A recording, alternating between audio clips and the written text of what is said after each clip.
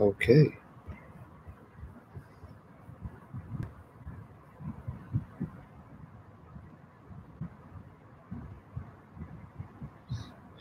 All righty then. We're live, folks.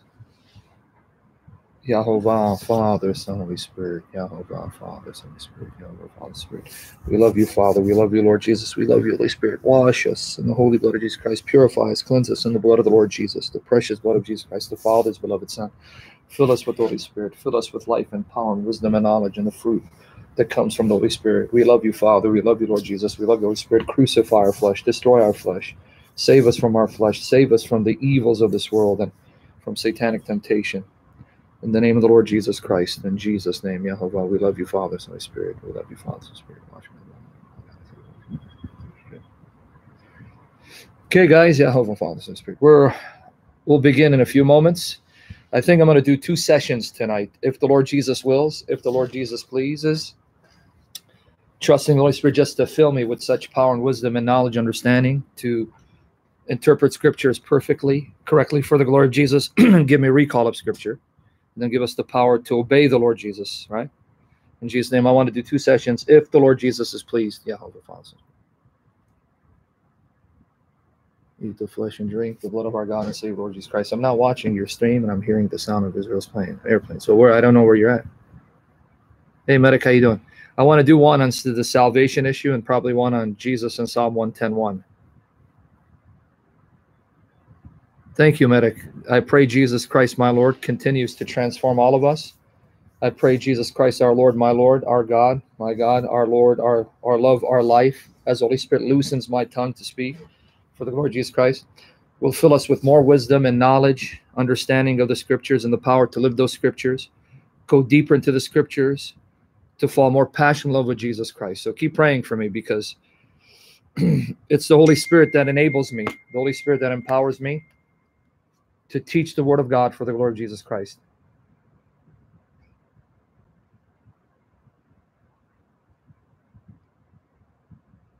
So, anyway, we'll wait for a few more faces to show up. Hopefully, Pablo will show up. What are you going to do? There's going to be no true lasting peace until the Prince of Peace, the Lord Jesus Christ, returns, right?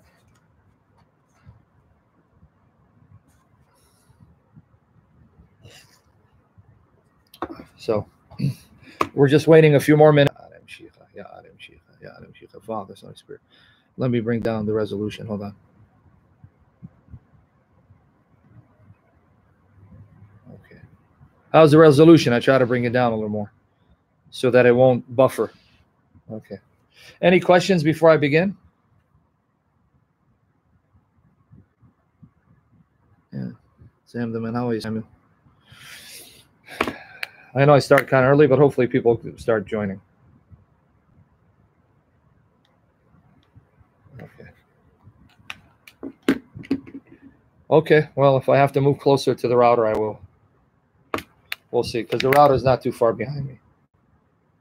Oh, must be nice, Southern California. Well, is was LA in Southern California? My eyes, man.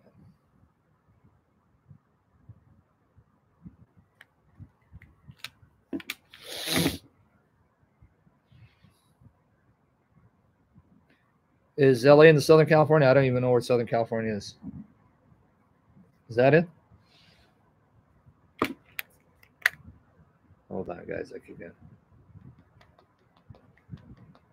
All right. Well, God willing, Lord Jesus Christ willing, I'm going to be in the LA area from the 28th. So I'm flying out Wednesday, and I'm going to be in that area till the 15th. I'm going to be doing some pre recorded shows with a former Muslim who now follows the Lord Jesus Christ. I'm going to do about 26 pre recorded shows for a satellite station. And I'll be making the rounds. So if you're uh, in that area, you want to meet me, let me know. If you have a Bible study you want me to come and teach, contact me. Right? I'm available, folks. Don't worry about money. People think that we charge. We don't. We don't charge. We do it freely by the grace of Jesus Christ. If the people of God want to support us financially, God bless you. Right? So don't be afraid. Some people are afraid to say, man, if I ask him how much it's going to cost, nothing. Yeah, please do hit the like button. Okay. one day, if I keep doing this, if I keep doing sessions, we're going to get to about a thousand viewers every time I go live. Like David Wood, I'm hating on him. You can see I'm jealous. The Lord Jesus preserve you, defending Christianity for his glory. No questions. If there's no questions, I'll begin in a minute. I decided to undertake this discussion for the sake of a brother named Pablo, but I guess he's not here. He's probably at work because it's now close to 6 p.m. Uh, Central Standard Time, and that would be close to 7 p.m. Eastern Standard Time, meaning New York time, right? It's yeah, it's, uh, it's 5:35, 6:35. Yeah. Okay, let me ask the Lord to bless. we praise you, Father. We praise you, Lord Jesus. We praise you, Holy Spirit. Father, have mercy on us, on us. Please, Lord, be patient with us in our failures. We ask that you crucify our flesh. Save us from the stain of our flesh, from the lust of the eyes, the lust of the flesh, boastful pride of life, Father. Cleanse us in the blood of Jesus Christ. Transform us by the power of the Holy Spirit to become more like Jesus Christ. And I need that desperately, Father. Please give me victory to crucify my flesh and help us to walk in the life and the power of your Holy Spirit, filled with the fruit of the Holy Spirit, Father. Father, to be in love with you, in love with the Lord Jesus, in love with your Holy Spirit. Father, use me, strengthen me, fill me with the joy of the Lord to be a blessing to your people who are here to, to listen. Bless them, fill them, especially with the joy of the Lord Jesus, Father. Grant us the ability to understand scriptures and anoint my mouth to speak truth and enable me to recall scripture and interpret them correctly by the power of your Holy Spirit for the glory of Jesus Christ. Save us from the attacks of the enemy. Shield us by your Spirit and cover us with the blood of Jesus and cover our loved ones with the blood of Jesus in my case, my two angels, Father, please. We love you. We need you. We love your Son, the Lord Jesus. We need your Son, the Lord Jesus. We love and need your Holy Spirit. Anoint the sound of my voice to be pleasing to the ears of your servants. and fill my lungs and my chest and throat with the breath of life, the health I need to glorify you. Please, Father. Help us not to be hypocrites, but doer, doers of your word. Please, I ask you for that victory. Thank you, Father. Thank you, Lord Jesus. Thank you, Holy Spirit. In Jesus' name. Yes, if you want to contact me via email, I have several, but you can try SAM, write this down SAM, SHMN, SAM, SHMN at yahoo.com. Christianity as well. Okay, let's send this guy on his merry way. Hold on. Another agent, tool of Satan to distract, but in Jesus' name we rebuke it by the power of the blood of Christ, Jesus our Lord. I don't know why they come to this channel. They don't come here to learn. So anyway, ma'am, two four one. Okay.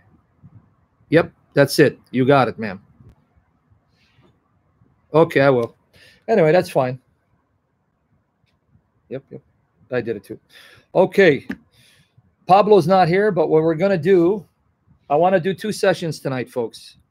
I'm going to do a session on salvation by the grace of our triune God, which receive as a gift through faith in the perfect work of our Lord and Savior Jesus Christ. Our God is infinitely beautiful, Asher. May the Holy Spirit fill us with more passionate love for our God, right? What I'm going to do is I'm going to talk about salvation by grace in response to a particular form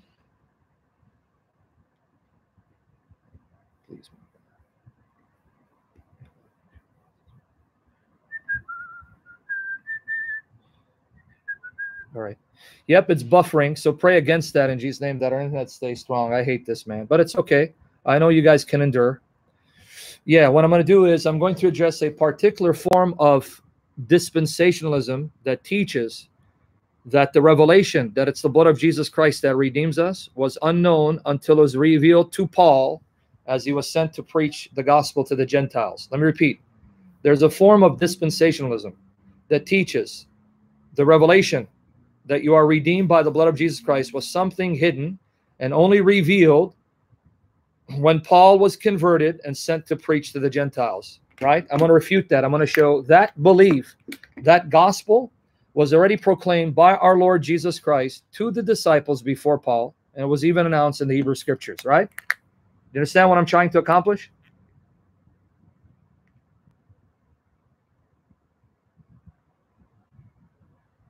Right?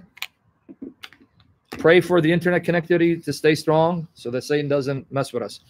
When I'm done with that, I'm going to then shut down the live stream and then start another live stream on Jesus and Psalm 110. So if you guys are up, get your dinner, get your snacks, get your popcorn, your drinks. I'm going to do two sessions tonight if the Lord Jesus is pleased, because I want to try to do as many sessions as I can before I go to LA. If you're up for it. So this is session one.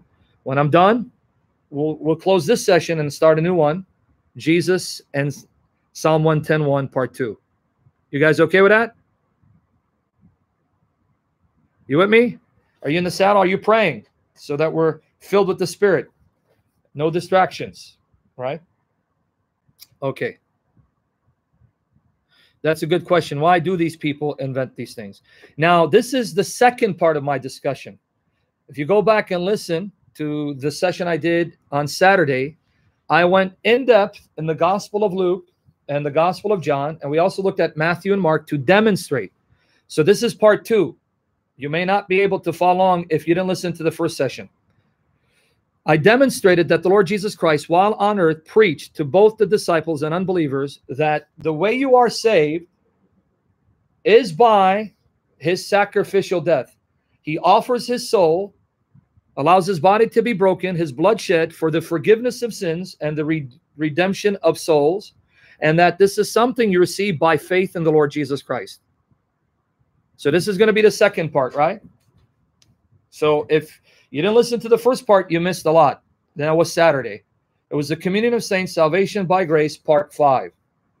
So I'm going to continue where I left off. Is that okay? You guys with me?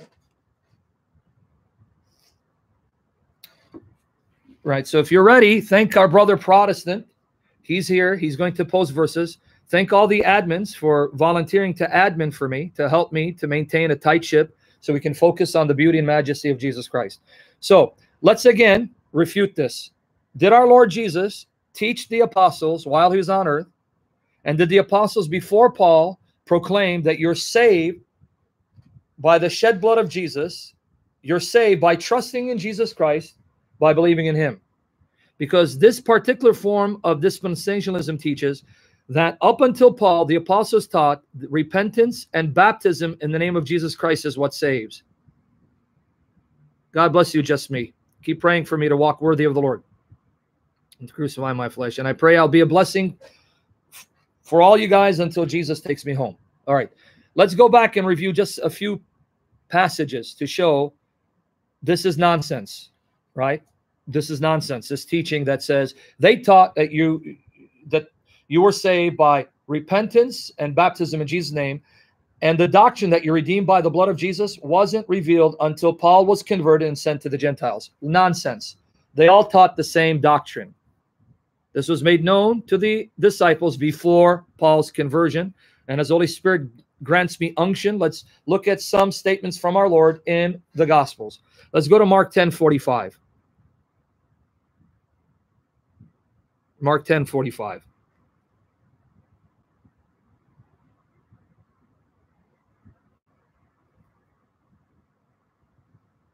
Okay.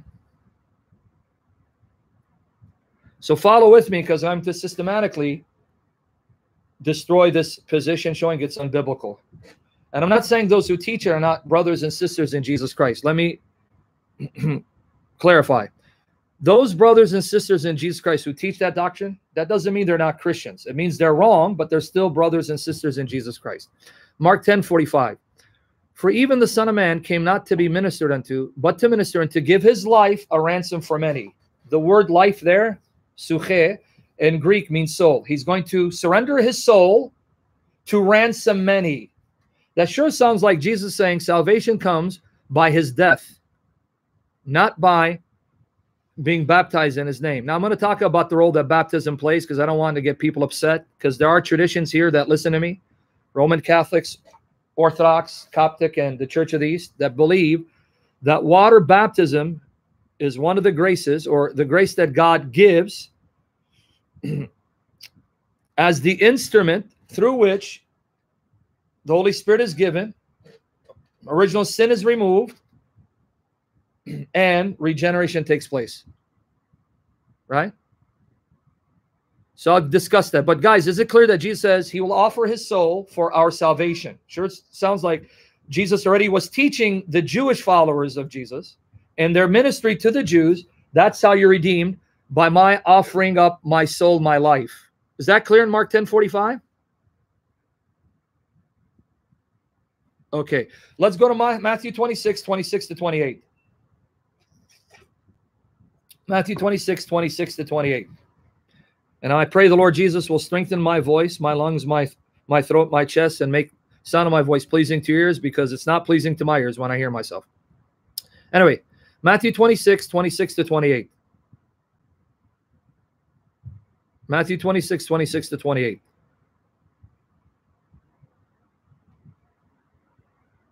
Watch here.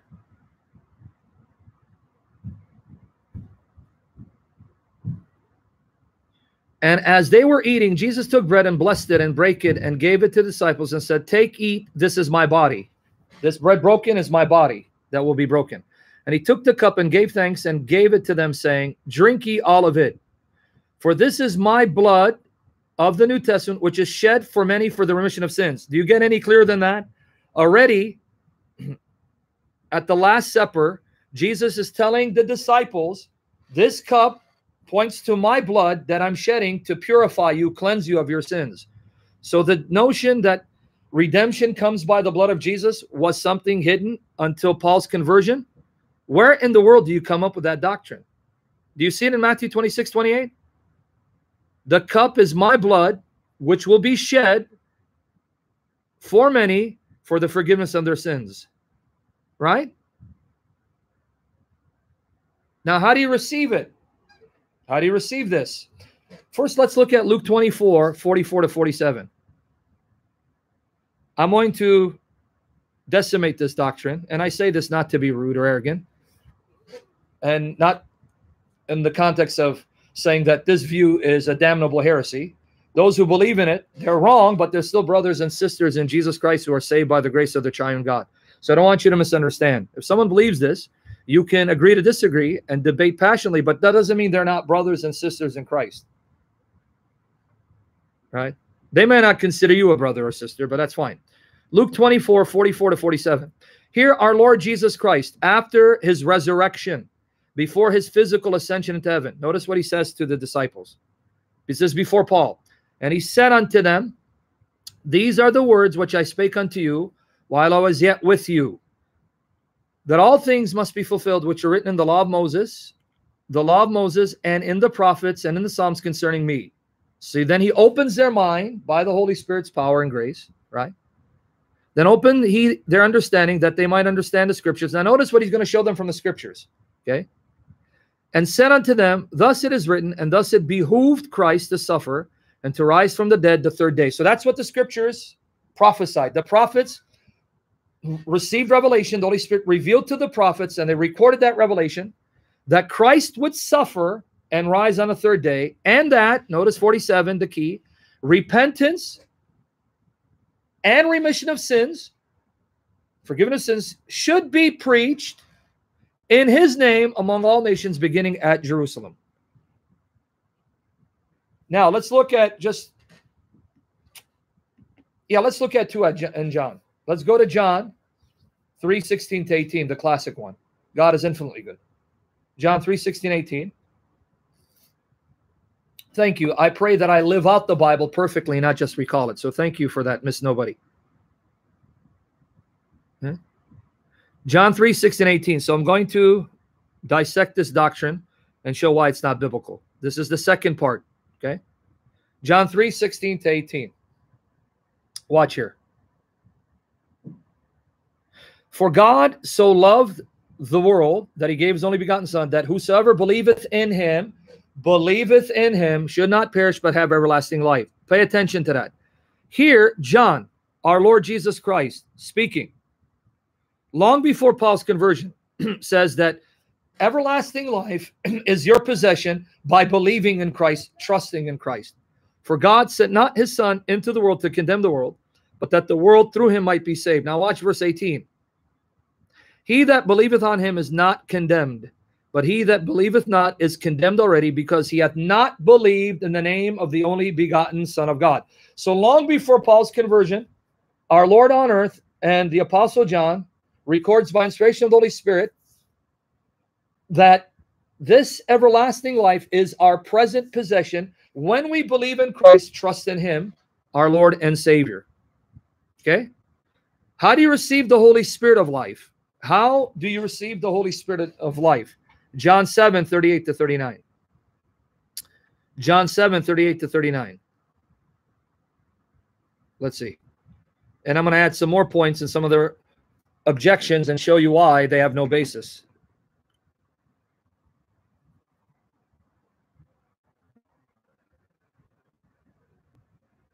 I'm going to bring one major objection. We're going to deal with that now.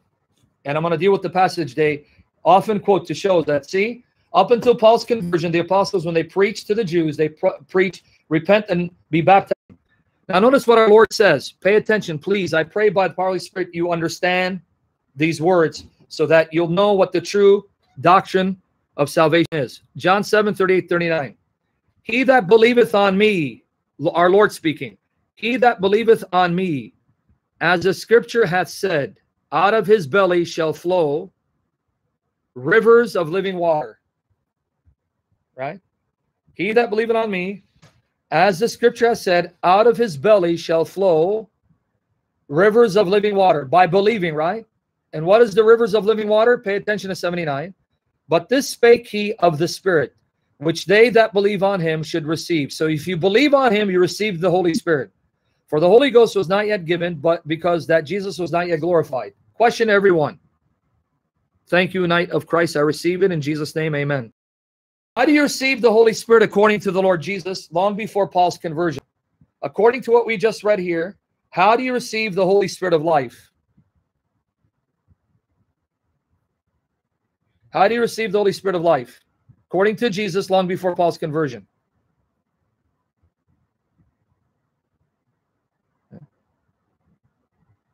Believing, right?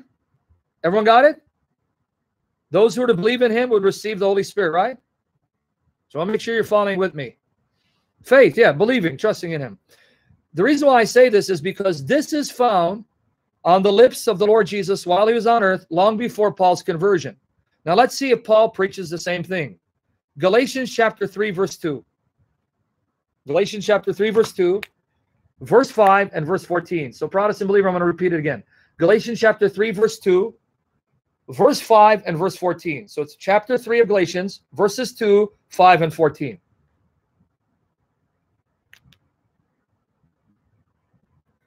Okay?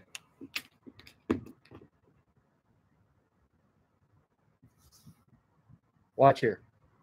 We're going to see. This only what I learn of you. Receive ye the Spirit by the works of law or by the hearing of faith. Now, obviously, they received the Spirit when they heard the gospel and had faith, believed in it. So this is Paul is saying. Why are you now running to keep the law to be saved? Didn't you already receive the Holy Spirit when you heard the gospel and believed?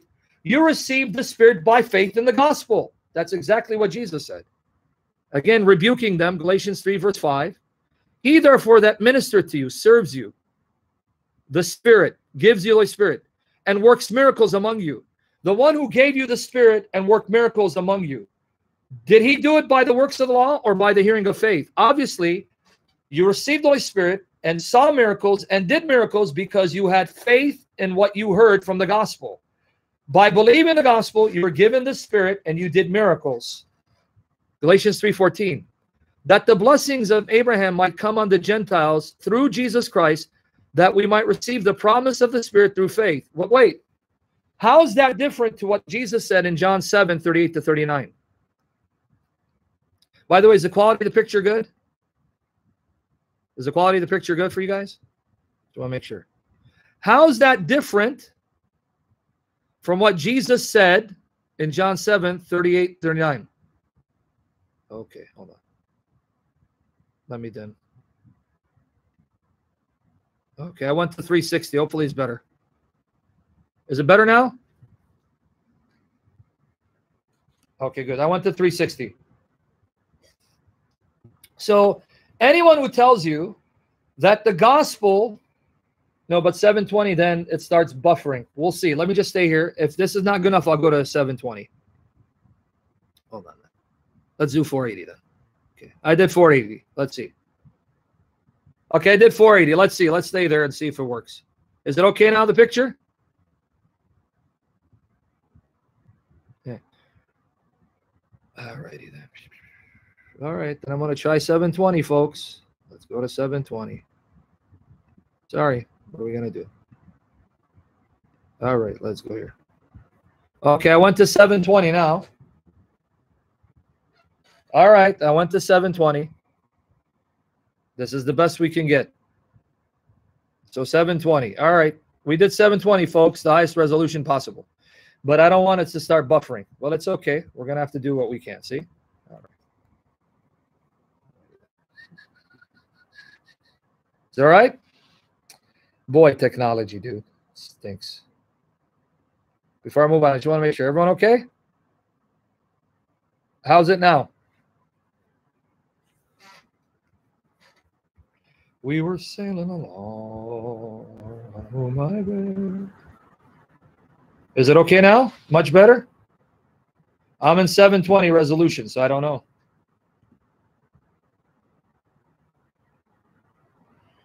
Then. Hold on.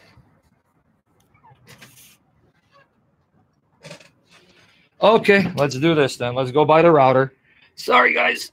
I got to do this. Okay, let's go by the router. Router, router. Why don't you stop telling me what to do, man? You're not the boss of me. Hold on.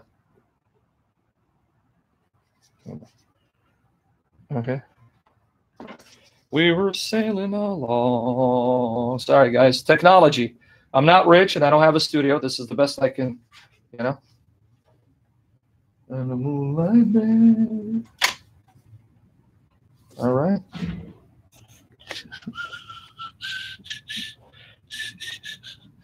Ah, life.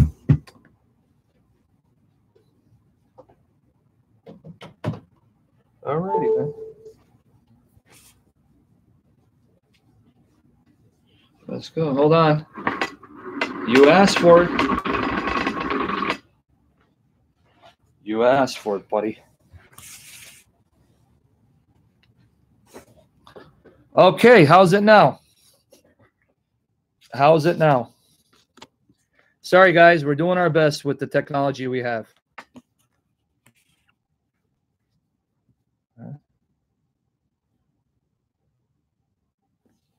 Okay. Okay, I took it down to 360.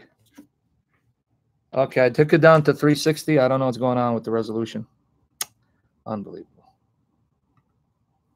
All right. I did 480 now. Okay, sorry guys. This is all we can do. If the picture is too bad, I can just shut it down. Do you guys want me to shut it down? All right. I don't want to be a distraction to you guys. Hold on. All right.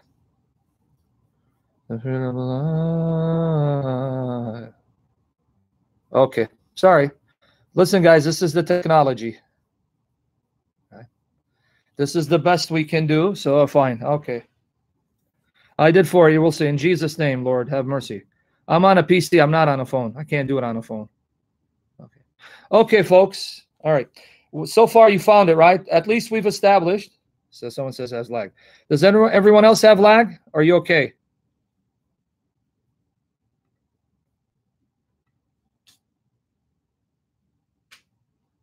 Okay. Yeah, Precious, let me stop right now in the middle of my talk and try to hook it up to the ethereal cable, which I don't know what that is, and lose more time. I love you, Precious, but you're not too precious right now with your with your advice. Don't let me come and lay hands on you. Okay, that's good. In Jesus' name, please, Father, bless this session for your glory. It's for your glory in Jesus' name by the power of the Spirit. Okay. All right. Anyway, anyway, you let me know if picture doesn't get any better. Okay. But you guys got it, right? You guys got it? Jesus before Paul, before Paul showed up, Jesus Christ, before Paul showed up, taught you receive the Holy Spirit of life by believing in him.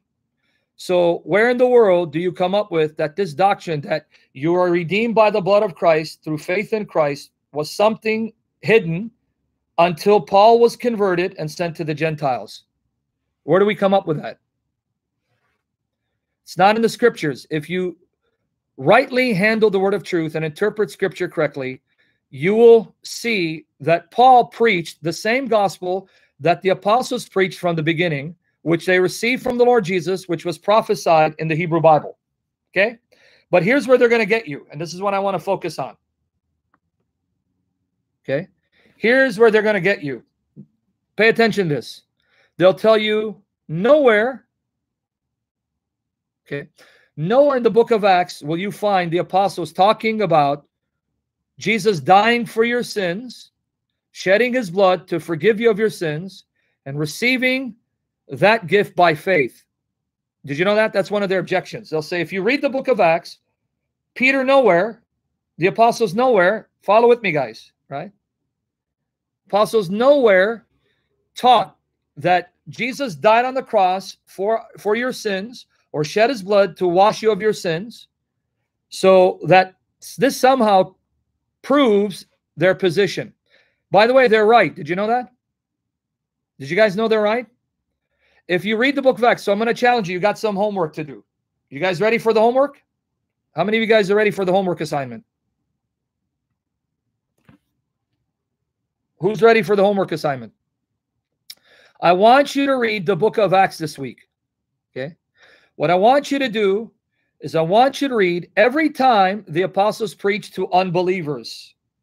I want you to count the number of times they mention Jesus was killed on the cross, hung on the tree for our sins. He died for our sins, or that he shed his blood to wipe away our sins, or that the blood of Christ cleanses us. They never say that. You will not find a single place in the book of Acts where they say that. Do you know that?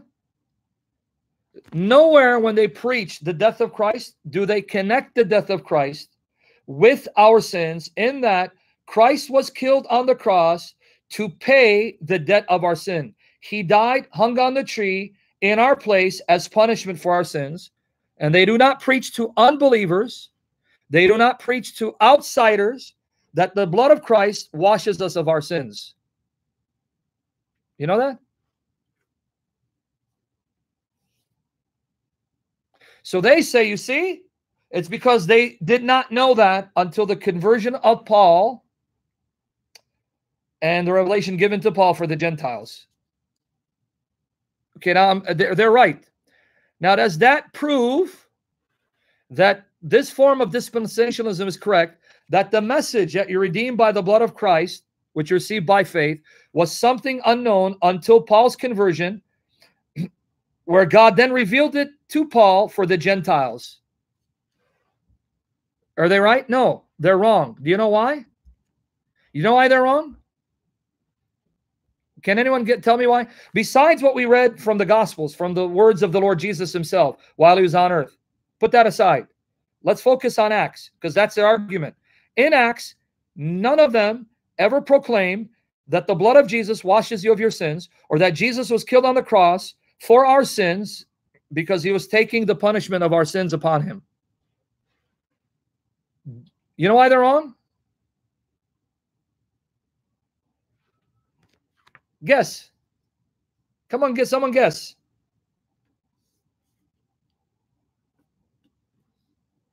Anyone say, can anyone tell me? Yeah, Loris, they're not saying that Paul preached a false gospel, Loris K. They're saying that Paul preached a gospel that was revealed for the first time to Paul and which the apostles confirmed being from Jesus Christ. So they'll say, okay, and so yeah, he, they did confirm because they knew that gospel was given to him by Jesus Christ. No, here, here's the answer. How do you do, Mighty Mouse? The answer is that not even Paul in the book of Acts ever mentions the blood of Jesus washing us of our sins. Not even Paul in the book of Acts ever connects the death of Christ on the cross for our sins. So if they're going to argue that way, they prove too much.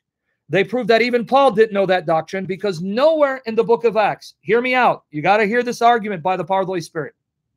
Nowhere in the book of Acts will you find Paul saying Christ was killed on the cross for our sins. He died on the cross to pay the debt of our sin, to take the punishment of our sin upon himself on the cross. And nowhere in the book of Acts will you find Paul preaching to unbelievers the blood of Christ redeems you and washes you of your sins. Paul doesn't even preach that either.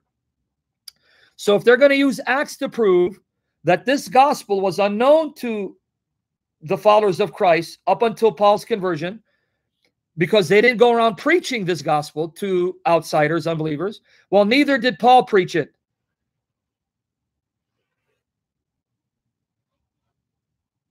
Loris, why are you debating me, sister? Can I ask you why you're debating me? I don't get what you're trying to do when I just said that they're going to say Galatians 2 simply confirms that they were aware and were convinced by Jesus Christ that Paul received this gospel from Jesus Christ and it wasn't in conflict with them. Okay. So let's keep it on this issue. Keep it on this issue. It is true that you will not find, let me repeat, it is true that you will not find, let me repeat, in the book of Acts, any of the apostles, not even Paul, when they're preaching to outsiders, when they're preaching to outsiders, saying, Christ hung on the tree, was killed on the cross for our sins. He was being punished for our sins. That's why he died on the cross. That's true. But even Paul didn't preach it. It is also true in the book of Acts, none of the apostles, not even Jesus himself, not even, Je- I'm sorry, not Jesus, I'm sorry, Paul himself, right? Because I was thinking of Jesus Christ, our God, our love, our life, hanging on the tree. Not even Paul in the book of Acts, no apostle, not even Paul in the book of Acts, ever mentioned to unbelievers the blood of Jesus cleanses you, wipes you from all your sins, and redeems you. You, do you know that? Lois, they don't need to say he had a new revelation, Galatians 2, because Galatians 2 is 14 years later after that revelation of this new gospel was made known to Paul, and they had already come to the realization that this was a gospel given to him by Christ. So they didn't need to say 14 years later, oh, wow, new revelation, Paul. They already knew it 14 years earlier. That's how they're going to respond to you. Don't use weak and bad arguments that they'll refute you very easily. Listen more than pontificating. And I say this in love. I know you're going to get upset that I'm being, but you're not listening. Right? Okay. So, did you understand how to address this objection?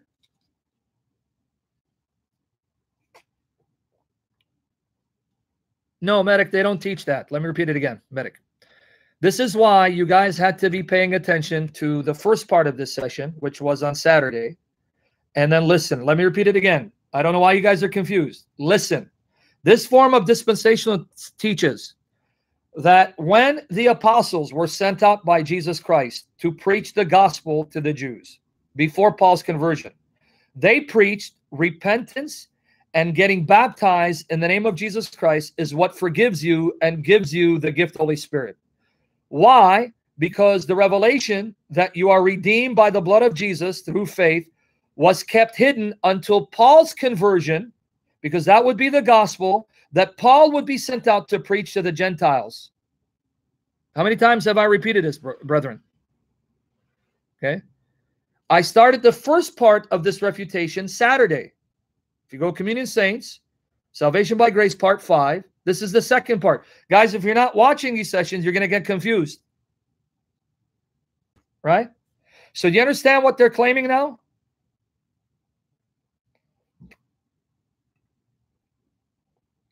Do you understand what you're what they're claiming now? Before I move on, I know you got it first last, and Protestant got it too. I want everyone else to get it.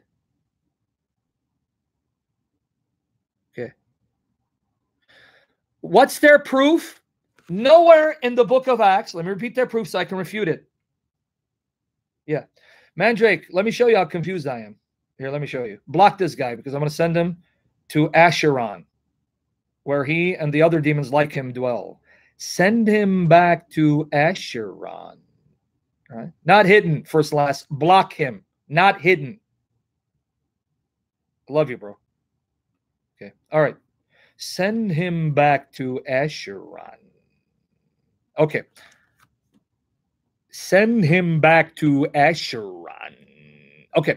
Now, what's their proof? One of their proofs is in the book of Acts, the apostles never preached that you're redeemed by the blood of Christ or that Christ was killed on the cross for our sins. And they're right. But what they don't tell you is neither do you find Paul preaching that in the book of Acts. So none of them preach that. Are you listening to me? Even Paul in the book of Acts did not preach to unbelievers that the blood of Christ washes you of your sins and that Christ died on the cross for your sins. Even Paul didn't preach that in the book of Acts. So that means if they're going to use that argument, it proves too much. It refutes them because it shows that even Paul didn't know it. Uh, better than your mother and father, hepatic addict. Because your parents, that's where Hitler learned from their Mein Kampf. Right? Let me muzzle some dogs right now. The demons have come out. Good. Say it, baby. Say it. That's right. Hey, you. Anyway. Okay, so do you understand their argument so I can refute it? Do you understand their argument so I can now refute it? Praise Jesus Christ our Lord.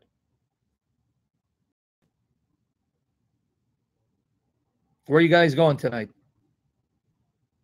Okay. So, did Paul in the book of Acts ever mention to unbelievers Jesus shed his you or died on the cross for your sins? No.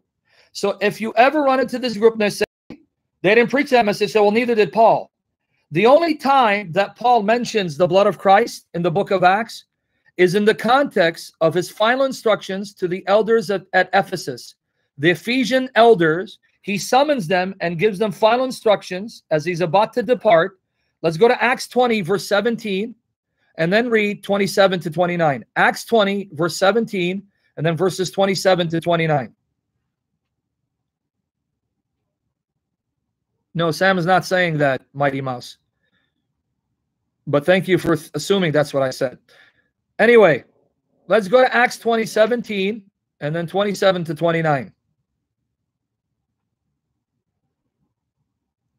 See, because you guys are not patient, you're not going to get the answer. America already wants me to answer the question that I'm about to answer slowly and systematically. Orthodox is the only confused way. Hold on. You know, I, I've said it, and I'm going to say it again. You got jerks and you got nasty fanatics in every branch of Christianity. You got nasty jerks that are Protestants. You got nasty jerks that are Catholics, nasty, pitiful jerks that are Orthodox. So being a jerk is not unique to any particular branch of Christianity. In the last few days, I went to some very nasty, divisive, arrogant Orthodox jerks. Nasty, right? Now, don't get me wrong.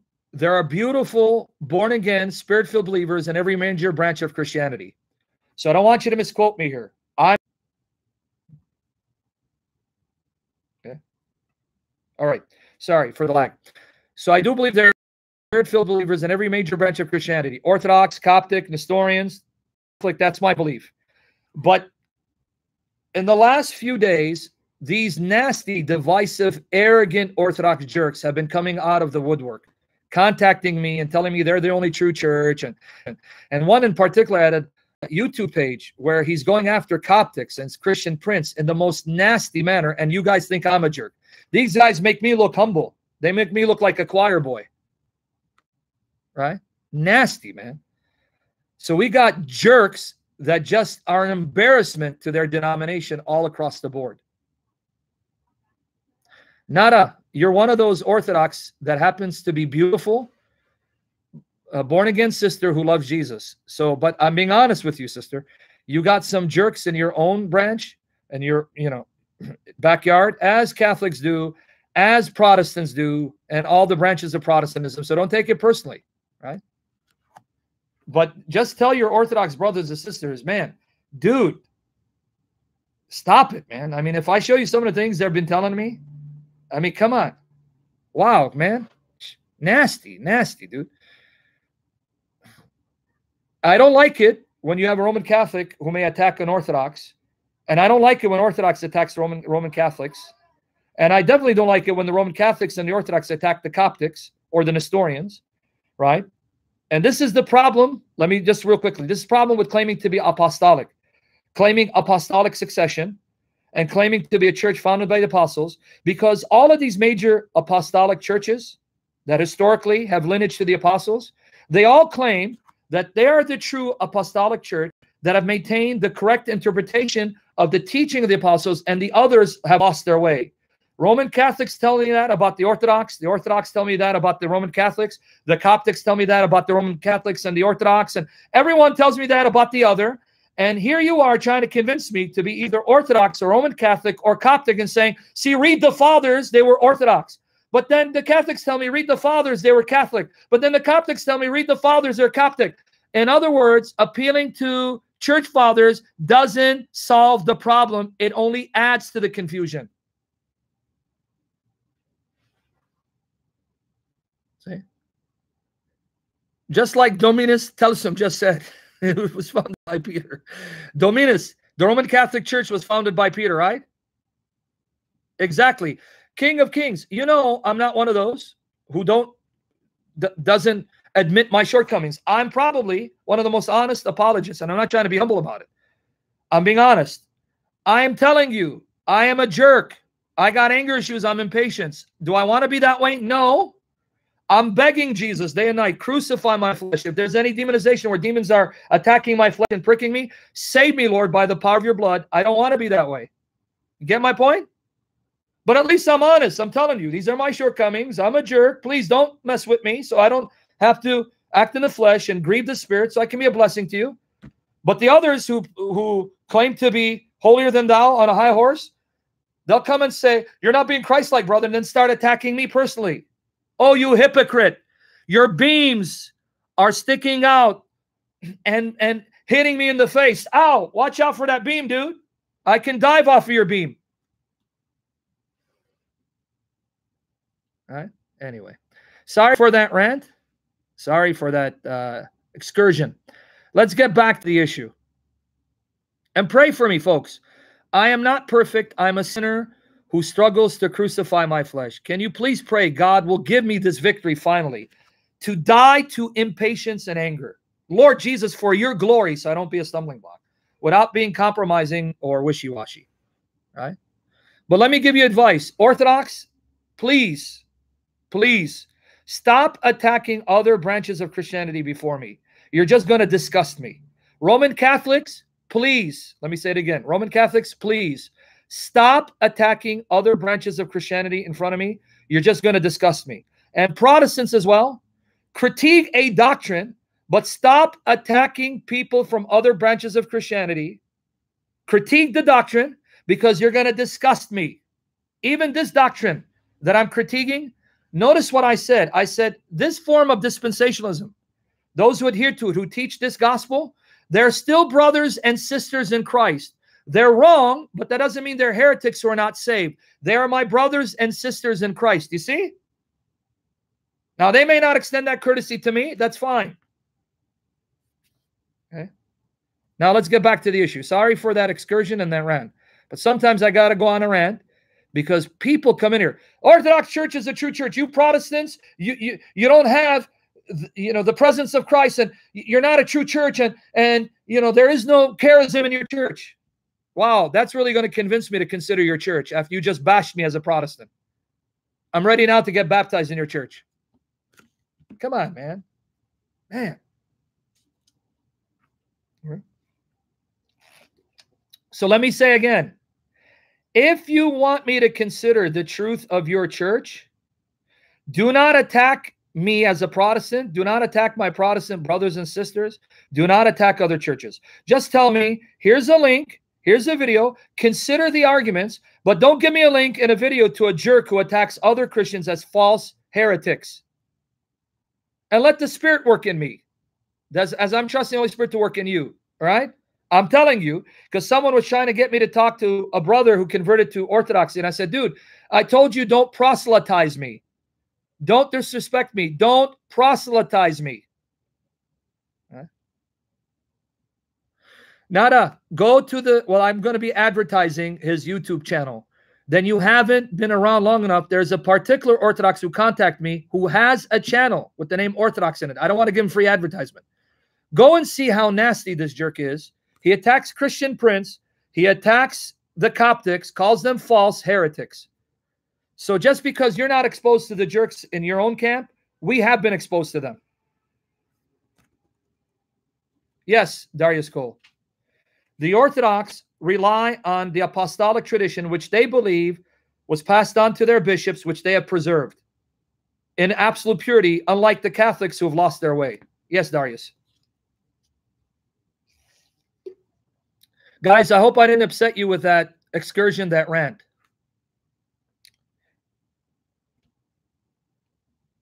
Is that okay? And this is coming from a guy who just a few years ago was very vicious against some Roman Catholics and attacked them and said things that I asked God to forgive me for saying and have mercy on me. Because I'm I'm imperfect too and I get angry. Right? Yeah. In Jesus' name, let's begin. Let's go back to the point because I'm going to do two talks tonight, folks. After I finish this talk, I'm going to wrap it up, but then I'm going to start another live stream on Jesus and Psalm 110. If you guys want to stick around for a long night, because I want to do as many shows as I can before I leave Wednesday to LA, Lord Jesus willing. Right? Okay, coming back to the topic. The book of Acts, none of the apostles, not even Paul, preached that Christ died on the cross for our sins, that he allowed himself to be killed on the cross to take the penalty of our sins. Nor did they preach that Jesus shed his blood to cleanse you of your sins, of our sins. The only time, the only time that Paul mentioned mentioned the blood of Christ was in the context of instructing the elders at Ephesus, the Ephesian elders, as he was giving them final commands, final instructions, because Paul believed that that would be the last time he would see them. Let's go to Acts 20, verse 17 and 27 to 29. Acts 20, verse 17, and then verses 27, 29. So, Protestant, it's Acts chapter 20, verse 17 and 27, 29. Notice to whom Paul is speaking. These final instructions, Paul, by inspiration of Holy Spirit, is giving them to who? Read. And from Miletus, he sent to Ephesus and called the elders of the church. These are what you would call the bishops. Elders are bishops, right? Episcopos, presbyteros, the Erasmian way of butchering the Greek, okay? And called the elders of the church. And then speaking to them, notice what he says For I've not shunned to declare unto you all the counsel of God. Take heed, therefore, unto yourselves and to all the flock over the which the Holy Ghost have made you overseers, to feed the church of God, which he hath purchased with his own blood. Did you catch it? This is the only time in Acts Paul mentions the blood of God, showing that Jesus is God in the flesh. Notice it's the blood of God, which he shed to purchase the church. But this is a message that he, he directed to the elders, not to the unbelievers, right? And then verse 29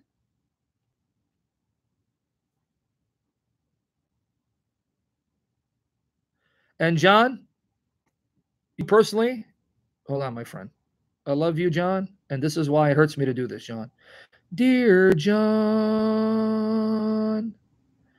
dear John, hold on. Dear John, dear John. Sorry, John. I love you, man. I loved you, man. You hurt me, John. You hurt me. You hurt me, friend.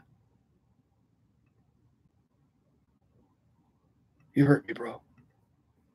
Sorry, John, I had to do that, bro. All right. Acts 20, 29. For I know this, that after my departing, and grievous wolves entered among you, not sparing the flock. Right? Did you quote all of 29?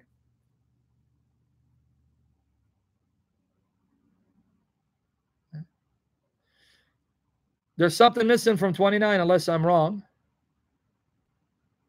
Yep, you didn't quote all of it, Protestant.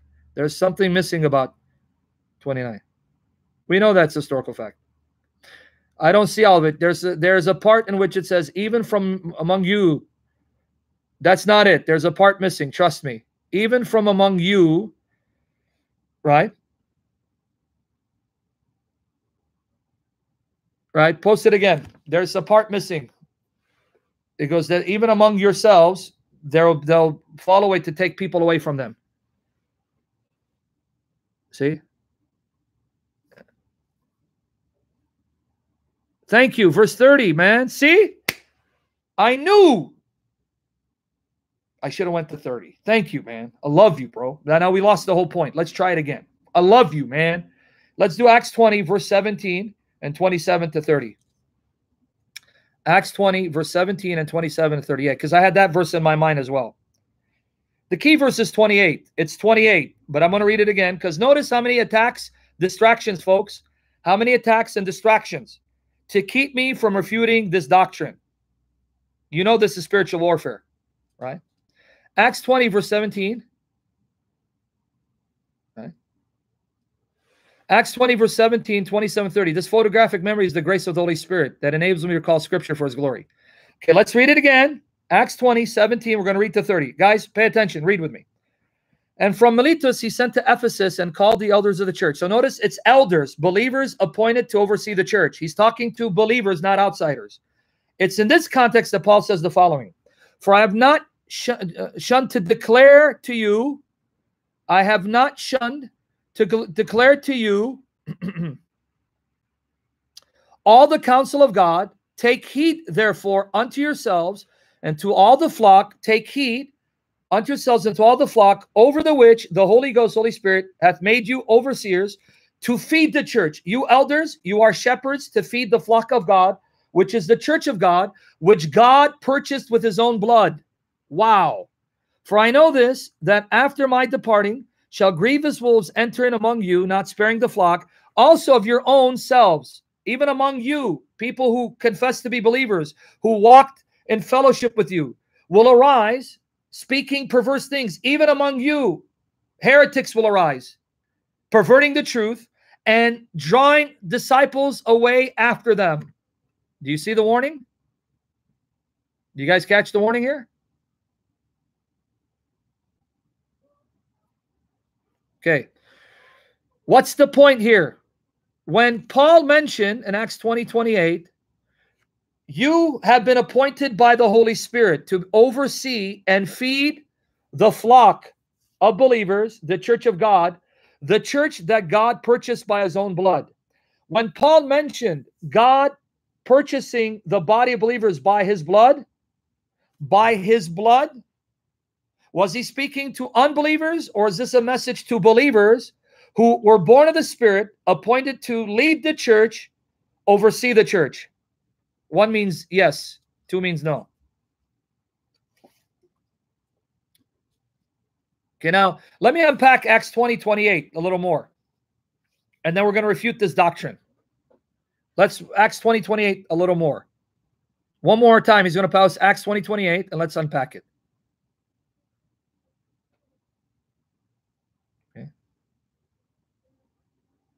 Watch here. One more time. I want to bring out the meat.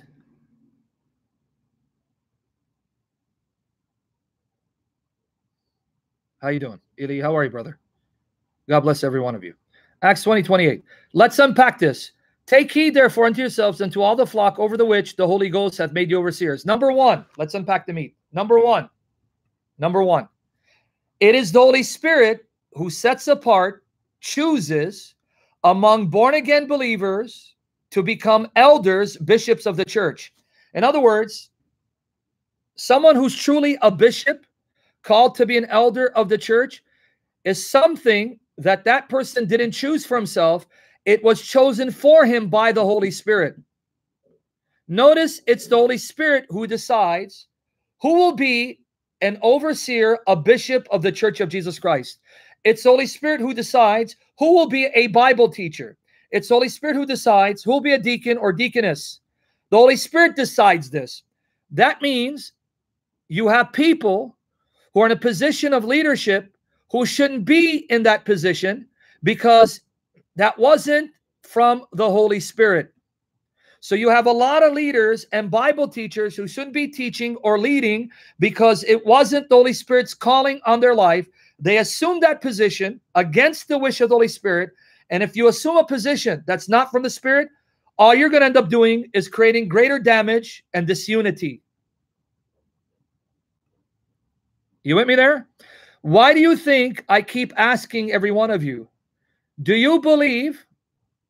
Do you believe that the Holy Spirit has anointed me and appointed me and set me apart to teach? Why? Because the Bible says, from the mouth of two or three witnesses, in this case, believers who know the Lord and born of the Spirit, will confirm a matter. Why do you think I keep asking?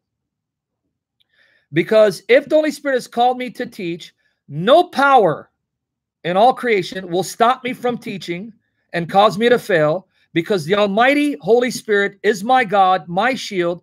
It's His calling, and He will perfect it in me and preserve me for the glory of Christ. You get my point?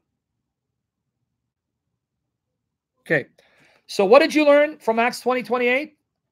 The Holy Spirit chooses who will lead the body of Christ, and He'll make it known to that person because he'll put that conviction desire in that person's heart and confirm it by the mouth of multiple witnesses, witnesses who are born of the Spirit, part of the body of Christ. You get my point? I love Andrew Martin.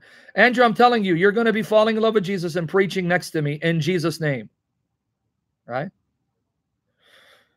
That means there are people who are in positions of eldership, which they assumed not because the Holy Spirit appointed them to that position, but they assumed it on their own initiative because of their fleshly desires.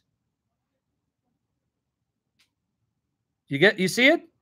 That's the first thing I want you to take away from Acts 20, 28. That's the first thing I want you to take away from Acts 20, 28. The Holy Ghost, Holy Spirit made you overseers. Man, Andrew, coming from you that blesses my heart. The best teacher in 50 years, my goodness. That all glory to the triune God, all glory to the Holy Spirit, my God, my Lord, my love, my life. The Holy Spirit, please convict this man. Bring him to the feet of Jesus. He misses Jesus. He hungers for Jesus. Holy Spirit, we come in agreement. Bring Andrew back to the feet of Jesus. Right. Okay. In time, Zena, don't put pressure on this young man. Leave him be. He's in the hands of the Holy Spirit. He can run, but he can't hide. We're not the Holy Spirit. The Holy Spirit loves him more than he can imagine, and he's not going to escape the Holy Spirit. So let the Holy Spirit work in him. You know, just love him. Love on him. Love on him. That's it. We don't make people believers. We don't make people fall in love with Jesus. The Holy Spirit does. Just love on him. That's it. Right? Anyway. Okay, so that's my point. Now, the second part of the verse, Acts 20, 28. Acts 20, 28. Let's look at it again. Yes, uh, Captain Ron, I'm tempted to show you the door. It's a pretty door, too. It's colored and there's like design on it. Acts 20, 28.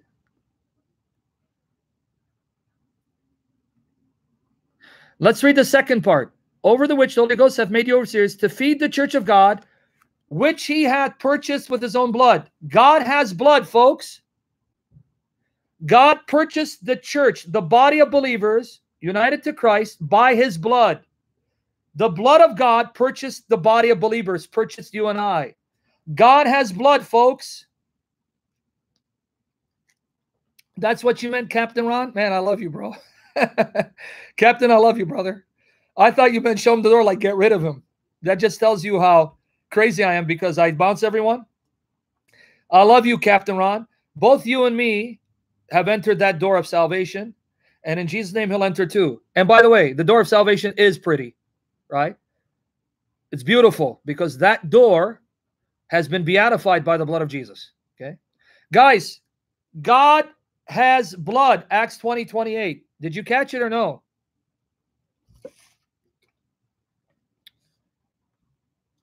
God has blood, folks. Okay. But hold on. God is spirit, folks. How can God have blood? God is spirit. Acts 20, 28. It says, God purchased the church by his blood. God is spirit. He has no blood. Or does he? Yes, when God became a flesh and blood human being in the person of Jesus Christ. So Acts 20, 28 is one of the passages that identify Jesus as the God who shed his human blood to purchase the church. Amazing? No, it is, Andrew. That's what I'm trying to say. I'm trying to show that here, the God who shed his blood to purchase the church is Jesus Christ, the Son who is mm. God who became flesh. Now, here's what's amazing. As God, our Lord Jesus has no mother only a father. Because there is no goddess in the Godhead. Right? As man, as a human being, Jesus has a mother, but has no human father. So Jesus, as God, has a father, no mother. But in respect to his humanity, as a man, he has a mother, no father. Tell me he's not amazing. Seek the truth. The God man died on the cross without ceasing to exist. I know what you're trying to say, but I'm going to embarrass you. If you try to use the argument, how can God die? Because I'm going to use the Quran to embarrass you if you're a Muslim. Because I think Seek the Truth is a Mohammedan who likes to kiss a black stone thinking he's still a monotheist. Right? So don't go there. As God, Jesus has a father, no mother. As man, he has a mother, no father. How amazing is he? And just like Jesus existed before his mother conceived him and begot him, Jesus has always existed with the Father, even though the Father begot him.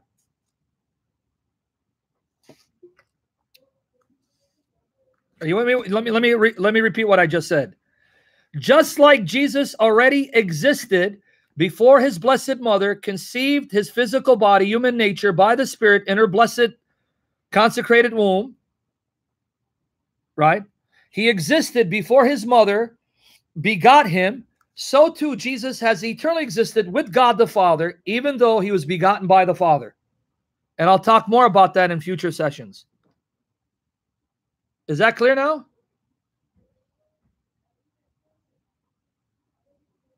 You understanding my point?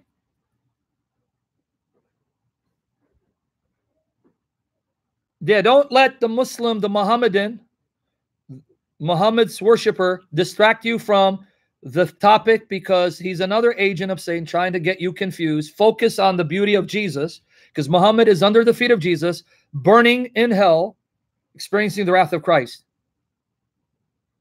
Right? And I mean, Jesus as God clearly has no divine mother. Seek the truth. Let me finish my topic. You can ask sincere questions. If you're sincere, I'll answer your questions. But let me finish the topic. If you're here to hit and run and blaspheme, you won't last long. Okay? You with me there? So you got it, right? Okay, what's the point? Let's come back to the point so everyone follows me. What's the point?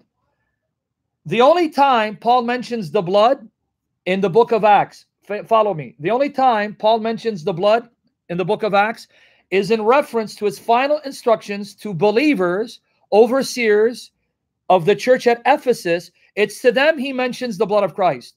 But in the book of Acts, when Paul preaches salvation, like the apostles before him, like the apostles before him, Paul in Acts, or at least Acts, never records Paul ever saying to the unbelievers that he's preaching to, Pay attention to this.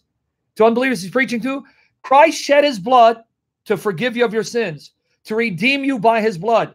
Christ died on the cross because of your sins. Paul never preached that in the book of Acts. He may have preached it, but Acts never records it. Are you with me there? Because I want to wrap it up real soon. But you with me there? Do you understand my point? Okay. What does that mean for this form of dispensationalism? If this type of dispensationalist tells you, you see, none of the apostles of Christ preached that Christ died on the cross for their sins or shed his blood to wash them of their sins. Therefore, this revelation that we're redeemed by the blood of Christ wasn't made known until Paul's conversion when he was sent to preach to the Gentiles. You turn it against them. Say, wait, wait, wait, wait. If you're going to use the book of Acts, that same book of Acts refutes you because neither did Paul preach in the book of Acts. Acts nowhere records Paul. Acts nowhere records Paul saying to unbelievers when he's preaching, the blood of Christ redeems you. You receive that blood by faith, or Christ died on the cross for your sins. So you're proving too much. Yeah, leave seek the truth alone. He's going to ask me questions one on one. I'll answer, God willing. You see how this very objection backfires against them?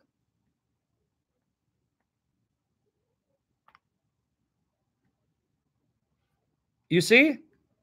So now someone asked me a question why is it in the book of Acts neither the apostles that walked with Jesus on earth nor the apostle Paul, who was converted after Christ went to heaven, ever preached to unbelievers Christ died on the cross for your sins and shed his blood to redeem you? That was the question, right? Medic, I'll answer that in a moment. Someone asked me that question. Why? Now, let me answer that. You ready for me for the answer?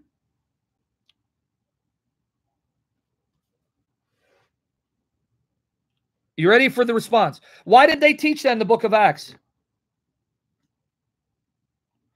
Well, that's an argument from silence. The book of Acts is not an exhaustive record of all the places that the apostles went to and all the peoples they preached to. Therefore, just because Acts doesn't mention that the apostles emphasize Christ dying on the cross for our sins, or that it's his blood that redeems us, doesn't mean they didn't preach it. It simply means that Luke, in writing Acts, doesn't mention it. Pablo, who told you he didn't receive it from the apostles? Where are where are you? Pablo, you know I love you, right? Put down the pipe, son. Put it down. Get off that TCH, the oil, and focus. Who told you he didn't receive it from the apostles? He received it from Jesus, confirmed it by going to the apostles. Okay, so what's the answer? Why is it in the book of Acts we don't find Peter, John, James, or Paul ever preaching Christ died on the cross for your sins or shed his blood to redeem you? The answer is simple that nowhere in the book of Acts are we told that Luke is giving us an exhaustive record of all the places the apostles preached at and all the peoples that the apostles preached to. Therefore, just because Luke doesn't mention that this was part of their preaching doesn't mean they didn't preach it. All you can prove is that Luke didn't mention it. That's it. You with me there? That's the most you can prove from the book of Acts that Luke didn't mention all the sermons, all the peoples that the apostles preached to. Therefore, we are not certain that this wasn't part of their proclamation because in Luke, he's giving you select sermons of the apostles and he's only mentioning some of the places that they went to and some of the people that they reached. Now, Luke may have had his reasons by inspiration not to emphasize that part of their proclamation, but the most you're proving with this argument is that Luke simply didn't mention it. You with me there? Luke simply didn't mention it. However, what the, what are they going to do? I'm going to have to do a part 3 on this. what are they going to do? They're going to say, but yeah, but Paul in his letters, when he's writing to Christians, mentions and emphasizes the blood. Well, hold on. Two responses to that. Pay attention, Pablo, because you asked me to do this. You got to listen and learn the argument. Two responses to that. Number one, Paul again is, is writing to congregations of believers. The people he's writing to are people who have already come to faith, have made a profession of faith, and claim to be Christians.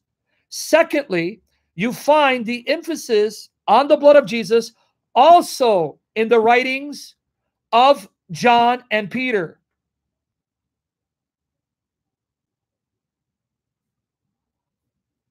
Seek the truth. Sorry, man. You're not one to be talking about disrespect when you Muslims disrespect us by mocking our God, blaspheming our Jesus, attacking our Bible, accusing it of being filled of contradictions, pornography, mocking Jesus being God who was born from a woman, right? Came out of a woman, hanging naked on the cross. So don't play victim here. If you can dish it out, then you can take it. Okay. Are you understanding my argument now before I move on? Let me repeat my arguments so I can then show you. The most that you prove from the book of Acts is that Luke, for some reason, did not emphasize that part of the proclamation of the gospel which focused on Christ dying on the cross for our sins and shedding his blood to redeem us. In other words, just because Luke doesn't mention that's what they preached, doesn't prove they didn't preach that part of the gospel. You with me there? If you're understanding me, I want because I want to move on to the next point. Okay. So in Acts, not even Paul, when he's preaching unbelievers, do we find Luke ever mentioning, as he's recalling Paul's travels, we don't even find Luke in Acts mentioning Paul specifically saying to unbelievers, Hey, Christ died on the cross for your sins and shed his blood to redeem you. So do not let them misuse Acts this way. Because if they're going to be consistent in using Acts this way, they end up refuting their own argument because it proves that even Paul didn't preach the blood. Right? So what are they going to come back with? Ah, but Paul did mention it in his letters. Thank you, Andrew Martin. See, Andrew knows how to answer it. There's only so much you can fill in a papyrus. And so each author had to be intentional as he's guided by the Spirit what to include and what to omit. See, man, Andrew, you're ready to become a Christian apologist, and in due course you will be in Jesus' name. Okay, now, if they come back to you and say to you, yeah, but Paul in his letters emphasizes the blood. Two responses. Are you ready? Two responses to that. How do you respond to that? Two responses. Are you ready? Are you ready for the two responses? Number one, Paul is writing to congregation of believers. They're not unbelievers, but believers who have made a profession of faith. So that still doesn't prove your point. Because their point is when Paul preached the gospel to unbelievers, part of the proclamation to unbelievers, to Gentiles, was emphasizing they're redeemed by the blood of Christ, which they received by faith. Paul's letters are directed to believers, not unbelievers. That's one. Number two, even the other apostles in their own inspired letters also mentioned the blood. Paul wasn't the only one. Do you know that? Paul is not the only inspired writer to emphasize the blood of Christ in his writings to believers because John and Peter do the same thing in their letters. Are you with me there? Now, can I prove that to you? Let's look at one passage by Paul where he focuses on the blood. Romans 3 25 to 26. Romans 3 25 to 26. Darius Cole, you're getting it. Romans 3 25 to 26.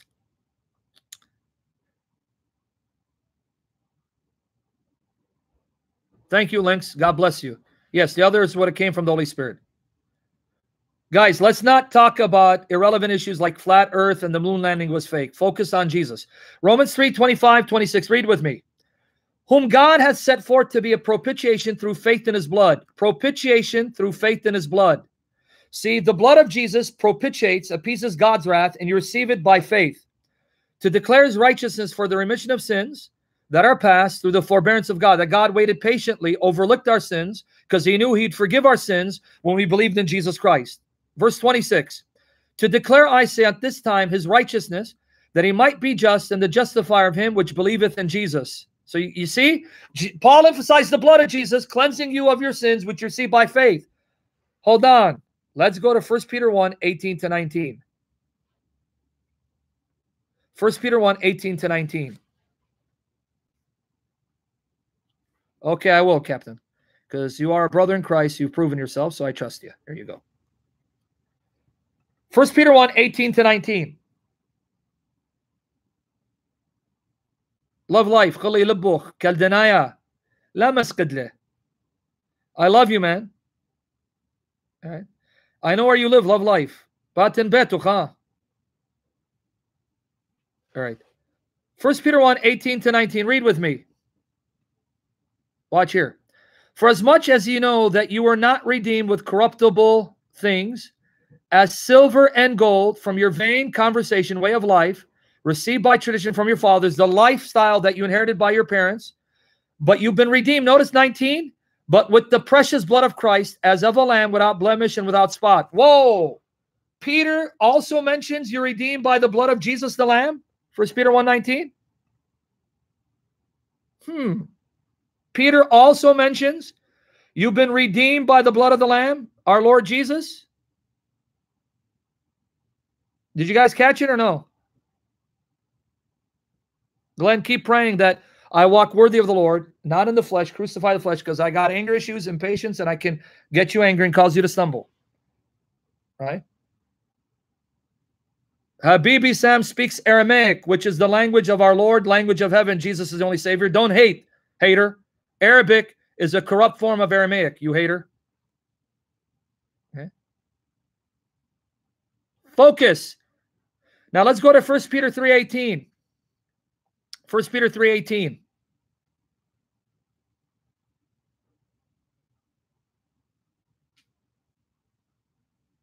First Peter 3.18. I love you too, John 3.17. Guys, focus. First Peter 3.18.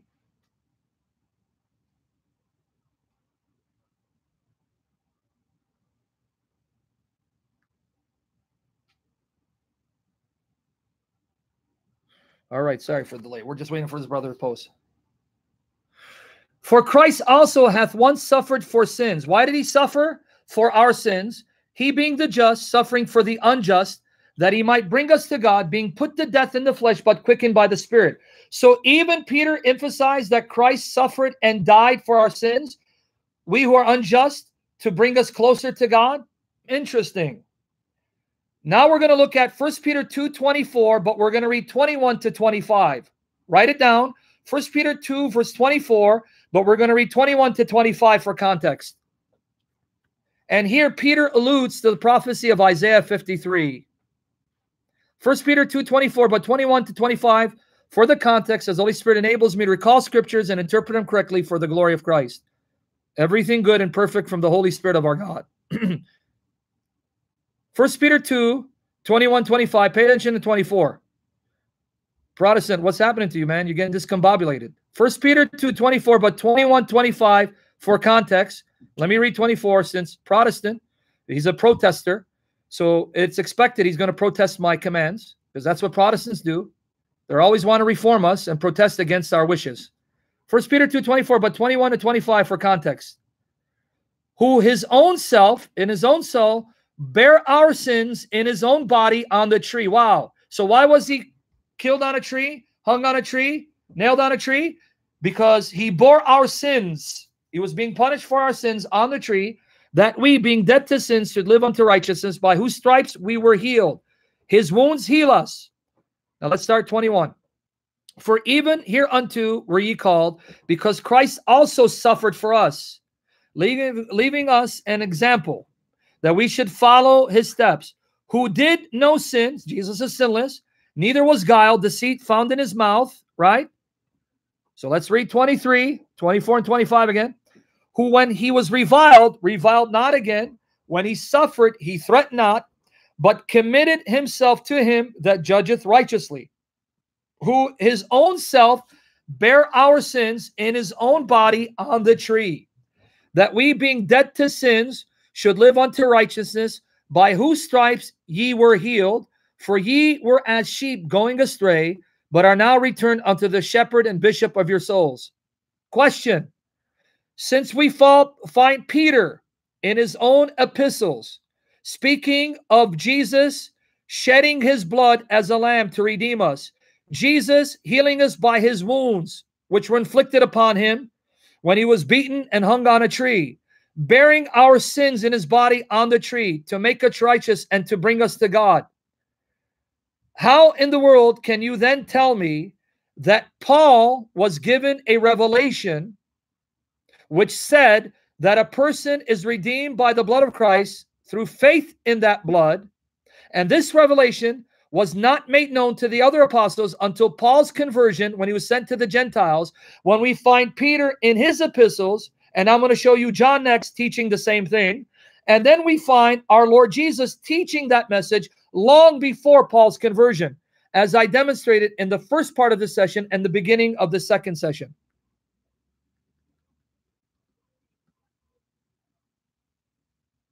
You with me there?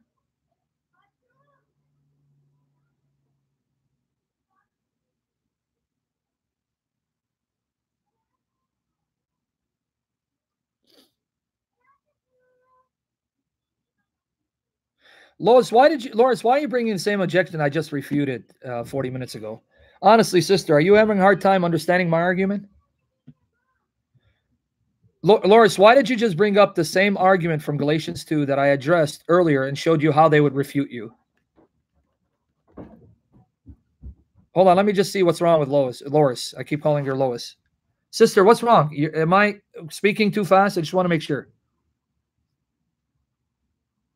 Why would you mention again that argument about Galatians 2 when they're going to tell you that 14 years later, Paul is told by Revelation to go back and reconfirm with the apostles, with the apostles and James, the Lord's brother, that the gospel he's been preaching for 14 years is the true gospel received by Jesus Christ in order to silence the Judaizers who are opposing him and claiming he's teaching a false gospel.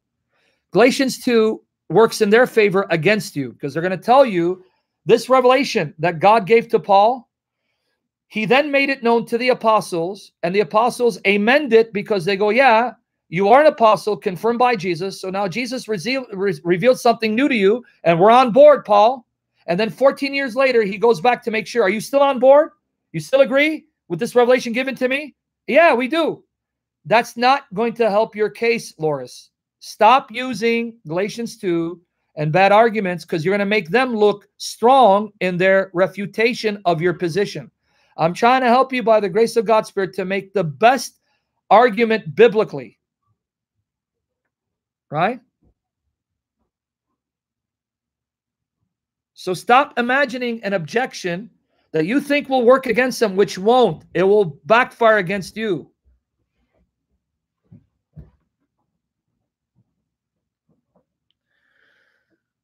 Okay, Laura's sister. Hold on. Hold on. Hold on. Mm-hmm. Okay. All right. Okay. Coming back to the issue. Everyone with me so far? How you refute these uh, individuals? If they tell you nowhere in the book of Acts did the apostles preach that Christ died on the cross for our sins and that his blood was shed to redeem us, which received by faith, well, the same book of Acts says, neither did Paul. Nowhere will you find in the book of Acts Paul preaching that message. If they then say, well, yeah, Paul preached it in his letters, well, then by the same token, so did Peter and John. They preached the blood in their letters as well. So you see, no matter what they say, they're going to end up refuting themselves. Are you with me there? Are you understanding the point?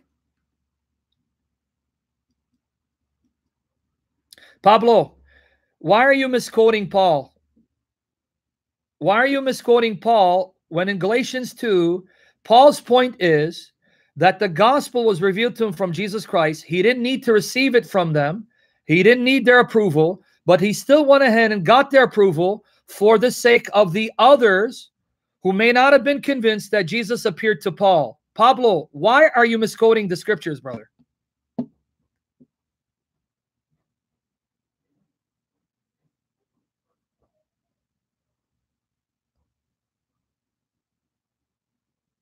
No, First Peter would have been written long after Paul's conversion. Okay. With me so far, folks? Are you with me?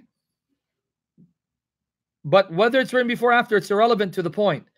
Medic, you understand their argument?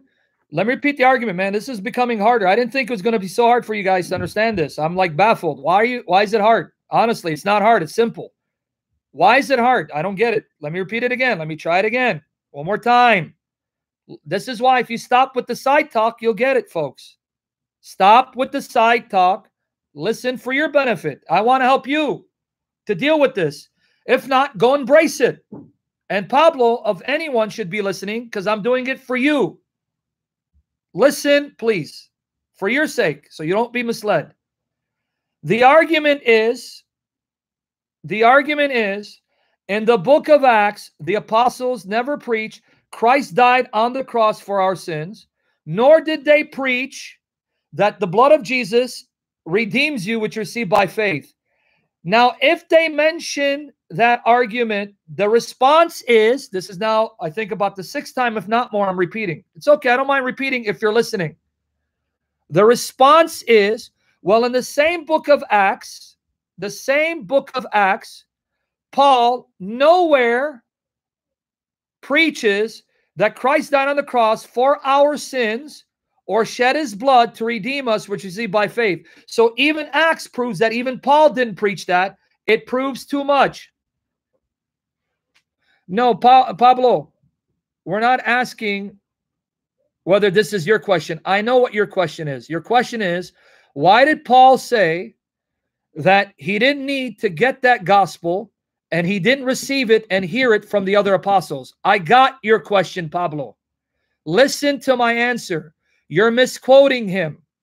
Go to Galatians 1, chapter 1, verse 10, and read all the way to chapter 2, verse 10.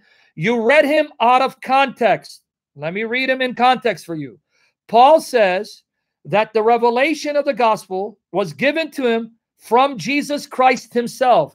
Therefore, he was in no need to have humans confirm it. He didn't need their approval. But the same Paul says, nonetheless, I did go and seek their approval. I did meet Peter and James to make sure that they confirmed that this gospel did come from Jesus Christ. Why? For the sake of others, lest they think that Paul is crazy or a liar or deceived and a deceiver.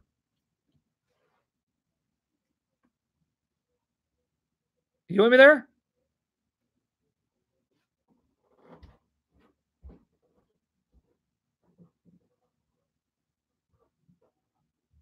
You me there now? The problem with you, Pablo, and I'm going to tell you what your problem is. You're not reading the Bible. I guarantee you're not. You're hearing sermons where people take verses, you hear them quote the verses, but you don't go back and read the chapter to see what those verses mean in the chapter. Why aren't you going back and reading the chapters, brother? Why are you babe being spoon fed? You have a Bible. Why don't you open it? If they say Galatians 1, then go read it for yourself. Why are you that lazy, brother?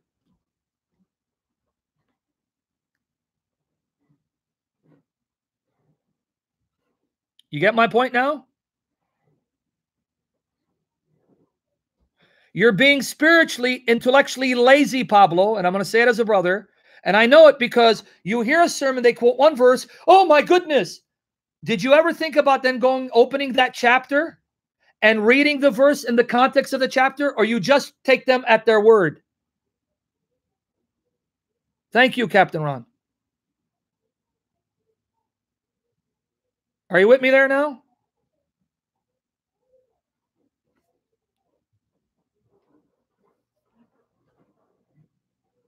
Now, are you ever going to tell me, Pablo, that why did Paul say, I didn't need their approval? I didn't seek their approval when I just told you what Paul meant in context. Robert, I don't even care what they say about you. They've said so many bad things, and I said, shame on you. Even though Robert Bobby may be a jerk, he's still a jerk I love. He's my jerk. You get it now, Pablo, or no? Pablo, I don't know, man. Have you been following me for the past hour? Hey, folks, let, let me ask the question for every one of you. Have I not demonstrated and proved that the apostles preached the same gospel to the Jews as Paul did to the Gentiles in the book of Acts? Have I not been demonstrating that for the past hour or so? Pablo, are you are you here listening to me, brother? Everyone got it. I don't know why you're not getting it. I just demonstrated. Oh my goodness. Okay, Pablo. My brother. Adios, amigos. All right, brother. Uh, bye bye, my brother. Sorry. I love you, man. I really love you. And I love you so much. Shalom, my friend. Shalom. No one understands this question, but only Pablo. Okay. Anyway, for the rest of you, no, defending Christianity, he's been having this problem since the day I started answering this question for him. He just doesn't get it. There are places in which you can't make someone see. You got to leave it alone. Another thing I want to remind everyone you cannot make anyone see. You can't make yourself see. So if you see a person's not getting it, that's a sign he's not there yet. The Holy Spirit hasn't enabled him to see it. Leave it alone. Let me repeat it again. You cannot force someone to see something. You can't make yourself see let alone make someone else see. That's the work of the Holy Spirit of the living God. So when you see a person is not getting it, because this is not the only time he's not getting it. He didn't get it the first time I did this session. He didn't get it in in messages he sent me where I clarified it.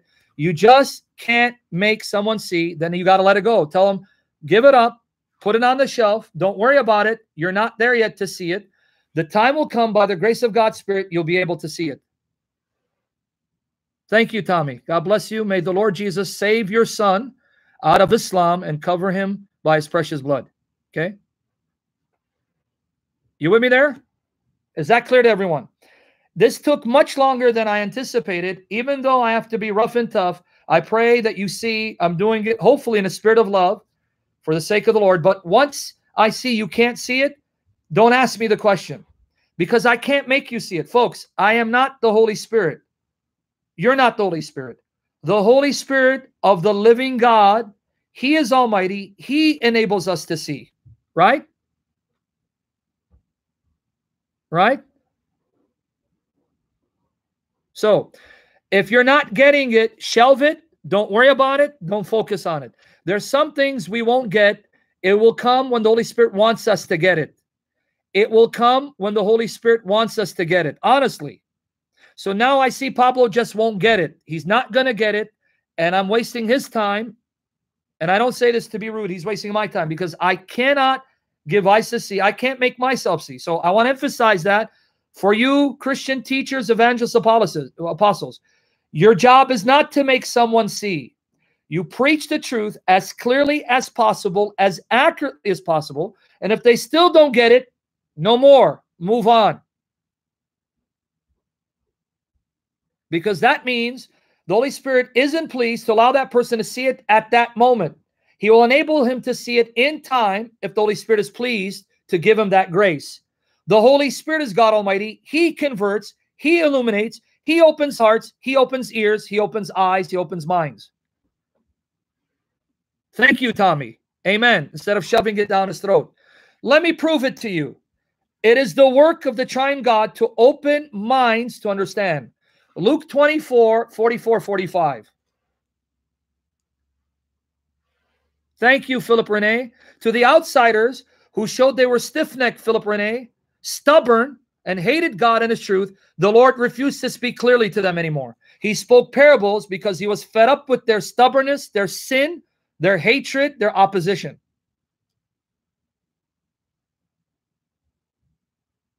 Right? Amen, Cheryl.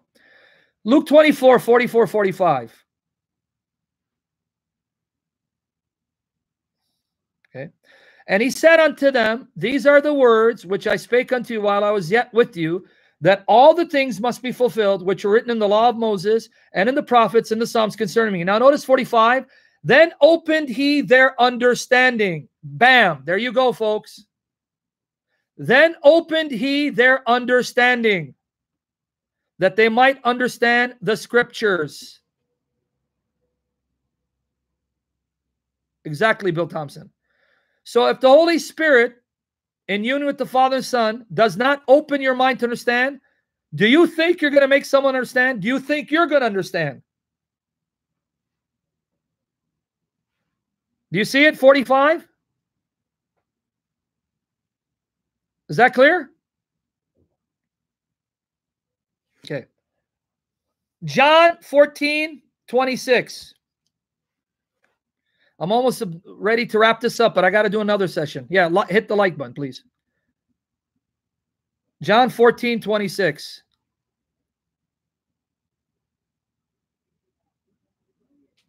Please, yeah, hit the like button so we can make this YouTube page explode in time.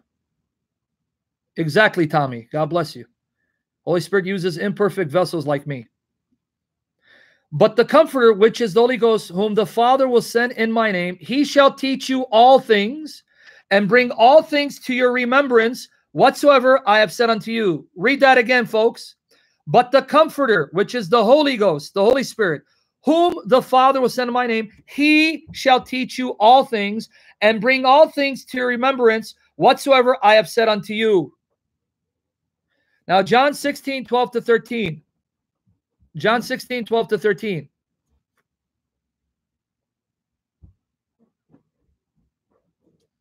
When you send me the ticket to come out and teach, God will, will be ready.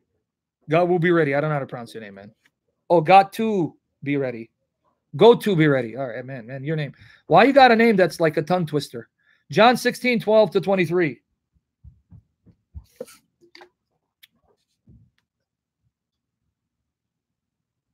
Exactly, Captain Ron. I have yet many things to say unto you, but ye cannot bear them now. Guys, etch this in your hearts and your minds. Read. I have yet many things to say unto you, but ye cannot bear them now. I wish I can tell you more, but ye can't handle it. Notice 13. Howbeit, when he, the Spirit of truth, is come, he will guide you into all truth, for he shall not speak of himself, but whatsoever he shall hear, that shall he speak, and he will show you things to come. Did you catch it? Even Jesus said, There are things you can't handle. There are things I can't speak to you about. You can't handle them. So I'm going to leave those things for now. And when the Holy Spirit comes, He will empower you to be able to handle those things, understand those things, and then proclaim them. God bless you, Tommy, man. The Lord bless you. I needed Black Smurf. Keep praying because I'm getting attacked viciously by Satan, but we're covered by the blood of Jesus. Did you see that now? Did you see what our Lord said? Even to Jesus is, guys, Jesus is God in the flesh. God in the flesh is saying, You're not ready. You can't handle what I'm about to show you. Not now. So I'm going to refrain from sharing it with you. Do you see? Uh, man, God is saying to them, You can't handle what I'm about to show you, what I want to share with you. So I'm going to refrain from sharing it. But the Holy Spirit will come and continue my work of illuminating you, enabling you to understand. What's the point? If Jesus himself refrained from sharing things because his audience were not ready to handle them, then are you more qualified to teach than Jesus? Are you a better discerner of hearts than Jesus? If Jesus refrains, that means you have to have wisdom to refrain as well. If you see someone's not getting it, stop. All right, hey, bro, you know what? Pray on it. Hey, sister, pray on it. You'll get it in time. Right now, it's not for you to get it now. right? In time, you'll get it by the grace of God. Do you see it?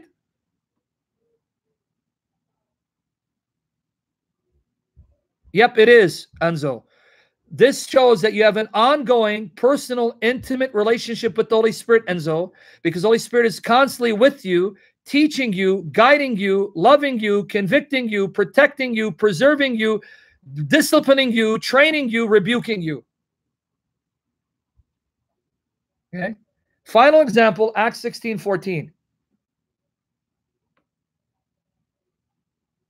Exactly, Bill Thompson. Acts 16 14.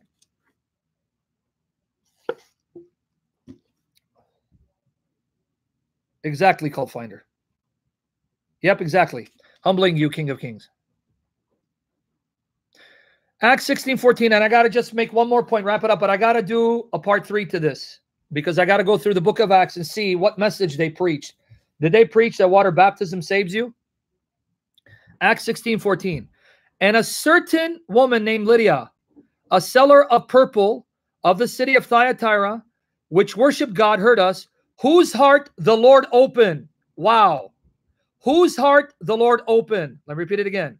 Whose heart the Lord opened that she attended unto the things which were spoken of God. So Luke 24 45 says, The Lord Jesus opened the minds of the apostles to understand the scriptures.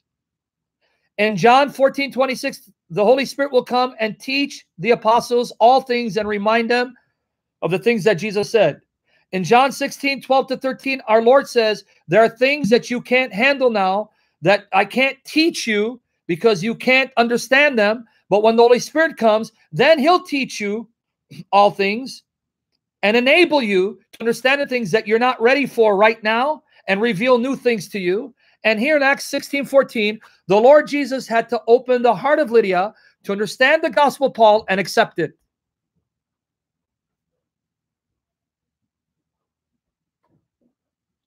Right? So I cannot make people see. I can't make Pablo see. So it's now clear to me Pablo can't take this in. He's not ready. And the in time, the Holy Spirit will enable him to see it. Thank you, Glenn. May the Holy Spirit open my eyes more and more. Yes, I was Darius. Now, let's look at John. Did John teach in his epistles the same message that Paul preached in his epistles? Right? Did John teach the same gospel in his epistles that Paul preached in his epistles? Namely, that God is propitiated, satisfied, his anger is removed by the blood of Jesus Christ. Let's see. First John chapter 1, verse 7. First John chapter 1, verse 7. And this was a very long session. Too long.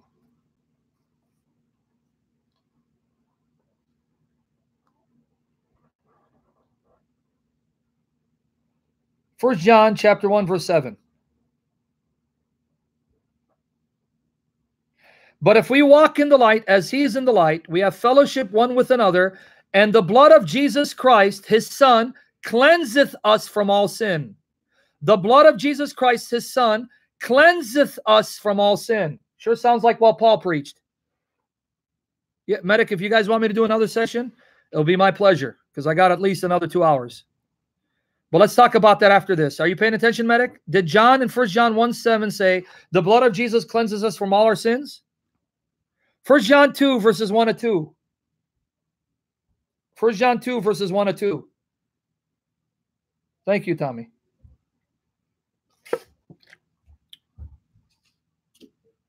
Sadly, Bill Thompson, it is. First John 2, verses 1 to 2.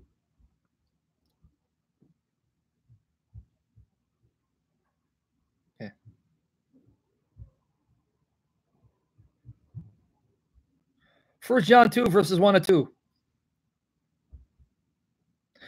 My little children, these things write unto you, write I unto you, that ye sin not. And if any man sin, we have an advocate with the Father, Jesus Christ the righteous. And he is the propitiation for our sins. Notice that word, propitiation for our sins, and not for ours only, but also for the sins of the whole world. So the Lord Jesus propitiates God, satisfies God, appeases God, removes his wrath, by his blood. Did you catch it? First John 4:10. First John 4:10. Notice the word propitiation. Thank you, King of Kings. Thank the Lord. First John 4:10.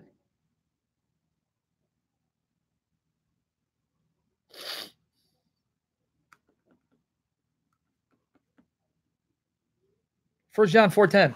Watch here. Propitiation means what I just said, medic. I repeated it. Propitiate means to appease God, to satisfy God's justice, to remove his anger from sin, to propitiate him, to appease him, to satisfy him, to remove his anger and displeasure. First John 4:10. Herein is love, not that we loved God, but that he loved us and sent his son to be to be the propitiation for our sins. So notice what John taught. The blood of Jesus, his son, cleanses us from all sin. Christ offered himself to propitiate God, to appease God, to remove God's anger and satisfy God's holiness. And how did he do it? Do it? By his death, by the shedding of his blood. Now let's see what Paul said in Romans 3:25 to see if John sounds like Paul and if Paul sounds like John. Romans 3:25. Romans 3:25.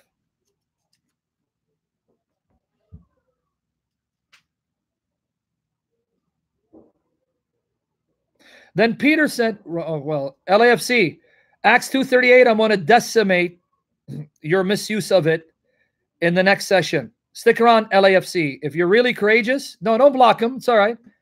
And you really think this passage proves your point, stick around because this is the passage I'm going to exegete, exegete and decimate your shameless butchering of this passage. Romans 3:25, whom God has set forth to be a propitiation through faith in his blood. Sounds like John, right? Whom God has set forth to be a propitiation through faith in his blood. Wait, John said the blood of Jesus, his son, cleanses us from all sin. Jesus is our advocate, the righteous one, who offers himself as a propitiation for our sins. Sure sounds like Paul and John, knew the same gospel and preached the same message, right?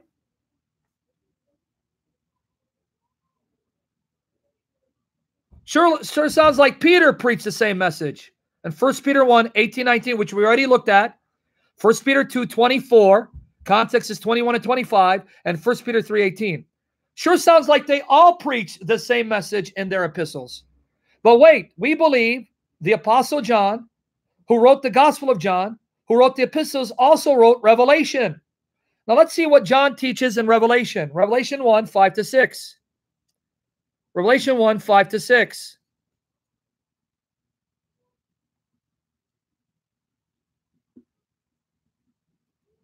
Revelation 1, 5 to 6.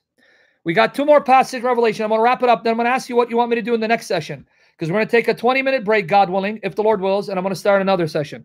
Another live stream right after this one, if you guys want. And I'll ask you which of the two topics you want me to address. But let's first look at Revelation 1 5 to 6. I don't know. I have two topics in mind that I need to finish, but we'll see. Let's see, Zena. Revelation 1 5 to 6. Thank you, Kay. Hallelujah, brother. If you're a sister, hallelujah, sister. Revelation 1 5 to 6.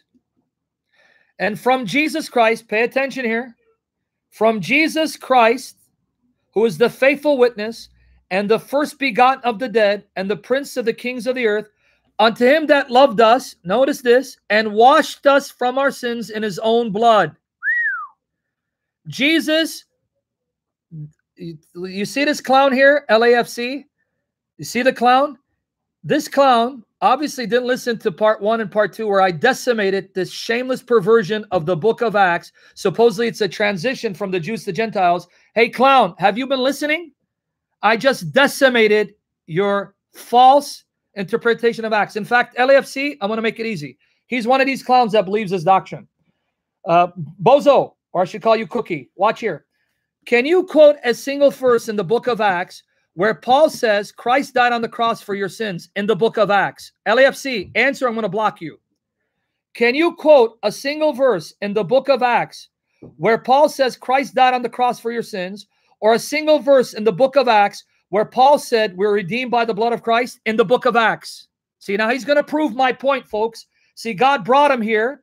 God brought him here to confirm the power of this exegesis. Thank you, Lord, for bringing one of these guys. LFC, don't tap dance around my question. Notice the tap dance, the coward? Did the 12 do it? Let me repeat my question again.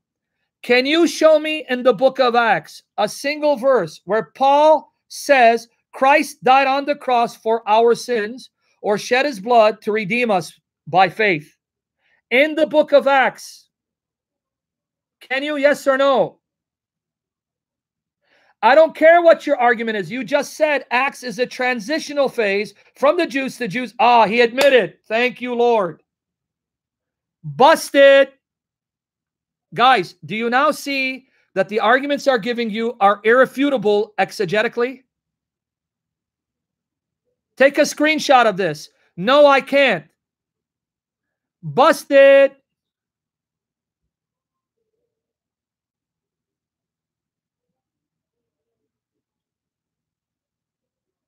Yep. Let me be the bully and spank people, Zena. Thank you. Did you catch it? Busted. Did I tell you they won't be able to refute you and their argument proves too much and embarrasses them? Do you guys now see the proof?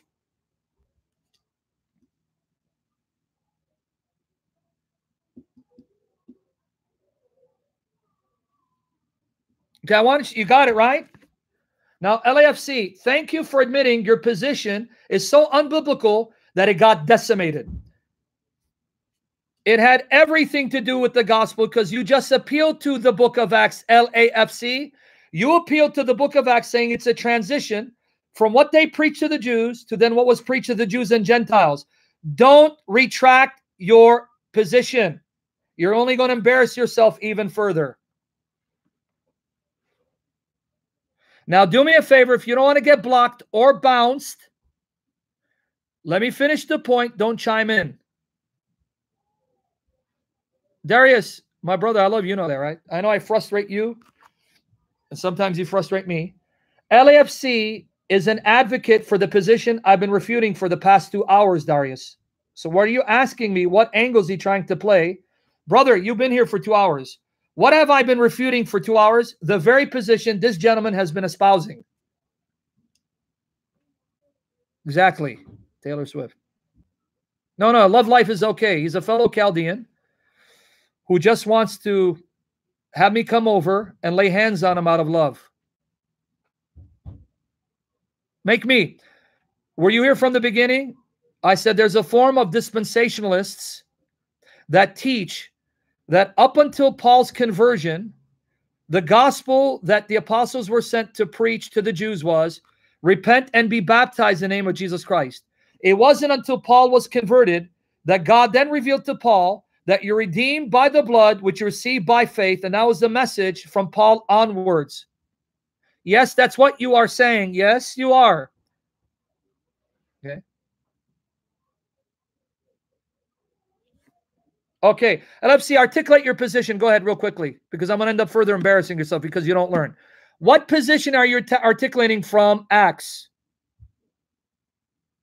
You said transition from Jews to Jews and Gentiles. What was that transition? Guys, watch. He's going to end up confirming the point, even though it says that's not what I'm saying. What was the transition? You're wasting my time. It's already been over two hours. Let's do it. So, they did not teach faith alone until when? Until when?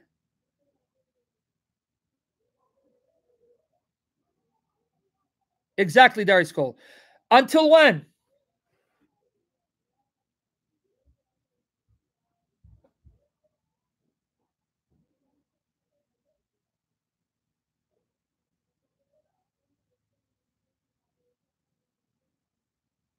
See, notice he the liar, he just got busted again. He just said that's not my argument, but he just said faith alone on what Jesus did. You see what a wicked liar this guy is? He just said that's not his position, but he just said it is his position. Did you just catch it? Faith alone in what Jesus did. Well, wait, wait. What did Jesus do? Die on the cross for your sins, which you receive by faith. I just said that's your position, which you just lied and said it isn't your position. You see what, how, how disgusting and wicked this guy is? LAFC, let me repeat it again because I want to block you.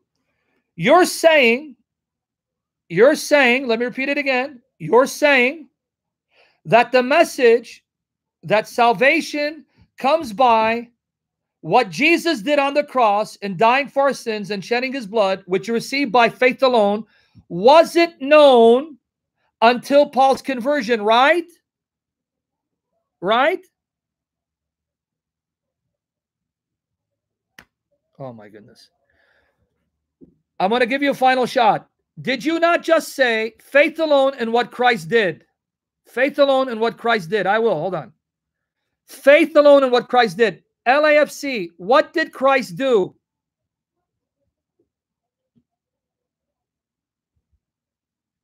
No, no, no, no. Finish your point.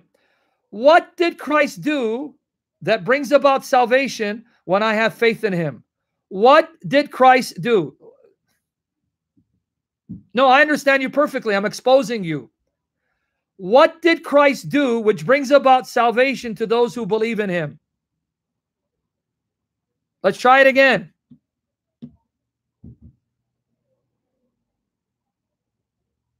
You got less than a minute to, uh, to answer. Sorry, guys.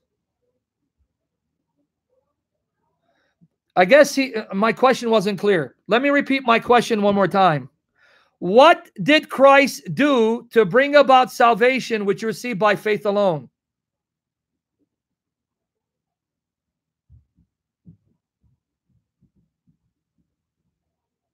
Okay. So, did the apostles before that transition preach to the Jews that you need to believe in Christ for what he did for your salvation and dying on the cross for your sins? And shed Okay, guys, did I not just say that's their position and he just said it? Shed his blood? So why are you now lying and saying that I'm not representing your position correctly when you just repeated the very position I articulated was your position.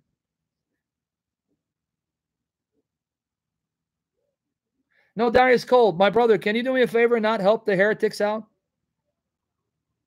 That took you a minute because you don't know their position. He's not you, Darius. Stop being a pacifist or someone who's trying to bring peace. You keep doing this, brother. I'm going to ask you nicely. Stop. You had stayed away from me for a while because we were having differences. Stop chiming in and trying to be a pacifier. You're not helping the situation. You're not him. I expect you not to get it, but he knows his position.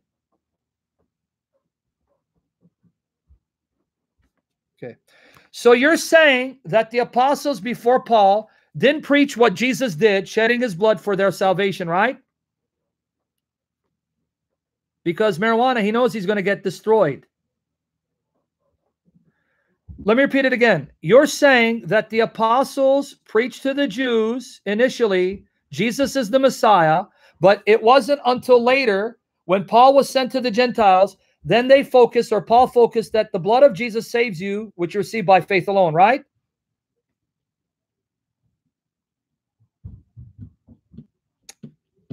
Sorry, guys. I hope none of you guys are getting upset with me. I want you to learn because he's a test case now. He's a test study proving the validity of these arguments. Is that what you're saying, LAFC? You're saying that before Paul's conversion, when they preach to the Jews, they preach he's the Messiah. But then afterwards, when the Jews rejected Jesus, Paul was sent to preach to the Gentiles. See, folks, did I not say this is the position from the very beginning, which he denied? You see how much time he wasted by not being honest? Okay. Now let me repeat my question, LAFC.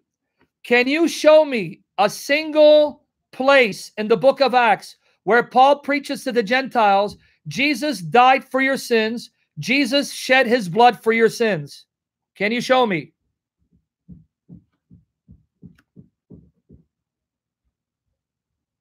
Don't worry, I'm going to send him as a merry way. Hold on. Can you quote a single verse in the book of Acts where Paul says to the Gentiles, Jesus is the Messiah who died on the cross for your sins and shed his blood to redeem you for your sins? Can you quote that verse? In the book of Acts. LAFC. Thank you. Now it's time for you to go bye bye. Thank you for proving my point. That's all I wanted you to do. Thank you. See you later, friend. That's it. Praise Jesus Christ. Thank the Lord this guy came. He just confirmed to you the validity of my arguments.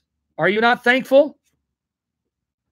Don't you see if you ha were having doubts, this is their position, and having doubts, this is how you refute their position. You just got a taste study, right? Uh, test study, not taste. A test study, right?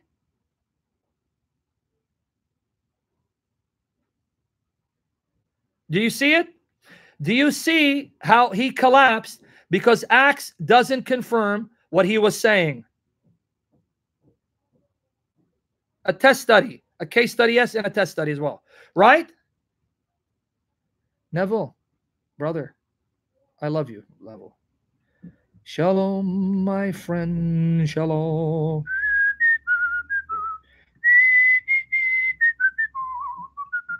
Okay, you with me there? Okay. For the rest of you, and Andrew, for the rest of you, did you see I did represent their position correctly? And did you see their utter collapse in defending their position from the book of Acts?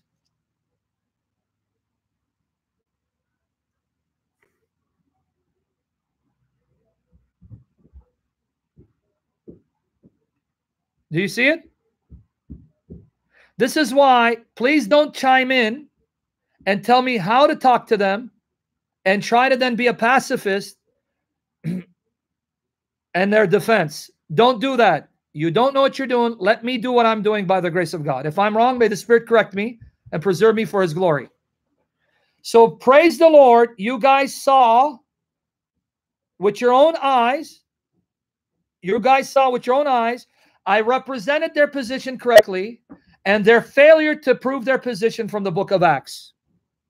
This was a godsend moment. You know that, right? This was a godsend moment. Let's finish it.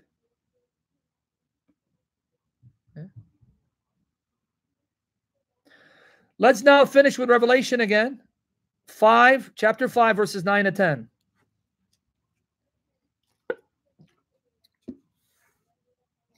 Revelation 5, 9 to 10.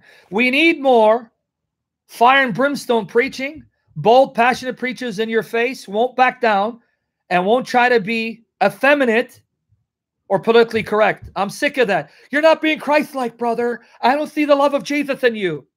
And I see what that approach has done to the churches. People who are Christ like and gentle, who are now capitulating to the world and accepting same sex marriages and LGBT issues and other issues to pervert the gospel, bringing scandal to the churches and destroying the body. Revelation 5 9 to 10. Sorry, I'm not of that. I'm not cut out from that cloth. I'm not made of that cloth. I'm a Middle Easterner. I'm a Syrian. I'm angry. I'm mad, and I'm and you're going to know about it. Revelation 5 9 to 10. It's not easy being an Assyrian. And they sung a new song saying, Thou art worthy to take the book and to open the seals thereof. For thou wast slain and hast redeemed us to God by the blood, by thy blood, out of every kindred and tongue and people and nation. You have redeemed us by your blood and hast made us unto our God kings and priests, and we shall reign on the earth. So, John, John the apostle, in Revelation, in First John, in perfect agreement with Paul, teaches the blood of Jesus redeems us, washes us, cleanses us, and appeases God's wrath, and makes us kings and queens, ruling with God and serving Him. So did Peter in 1 Peter 1 18 to 19, 1 Peter 2 24, 1 Peter 3 18, all of which we already looked at. Right?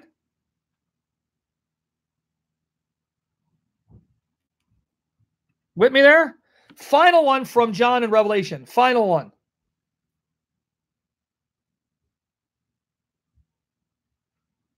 Final one from Revelation. Revelation 7, it's a long one, but I want every one of you to give your undivided attention to this section of scripture. It is beautiful. because it says those who redeem of Christ will live with Christ forever in incorruptibility before the presence of God the Father. Revelation 7 9 to 17. Pay attention. What made them worthy to stand before God on the throne? What made them worthy to serve God, with God never being angry with them, but loving them perfectly forever? What made them worthy? Revelation 7 9 to 17.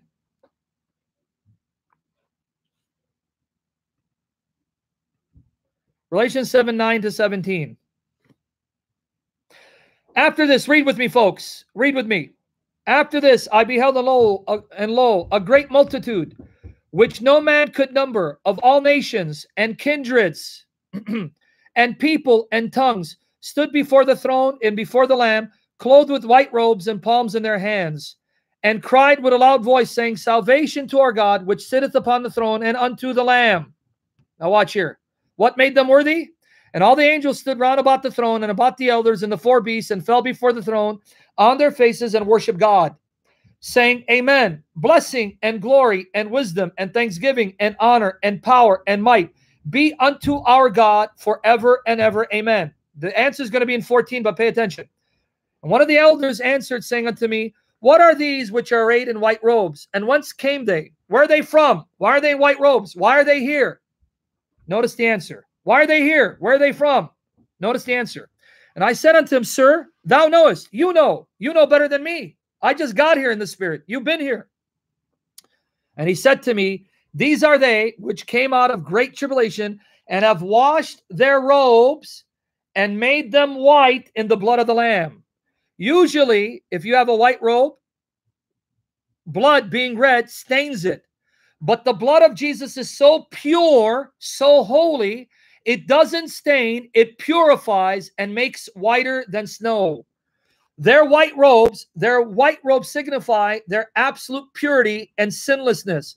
And the reason why they're absolutely pure, because the holy blood of Jesus made them absolutely pure. And then notice 15, because of that, because the blood of the Lamb, are they before the throne of God and serve him day and night in his temple, and he that sitteth on the throne shall dwell among them. Why? Because the blood of Jesus made them so pure, so holy, so worthy that God now delights to dwell with them because the blood of Jesus made them worthy and delighted the heart of God.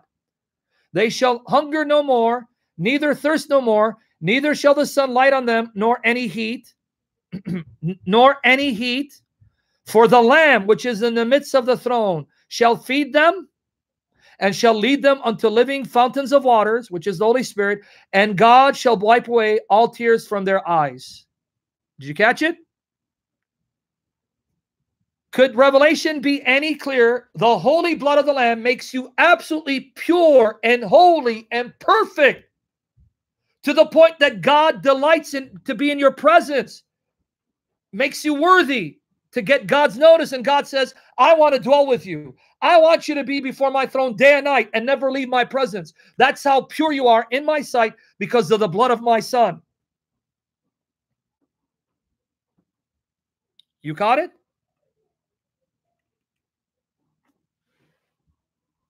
Okay.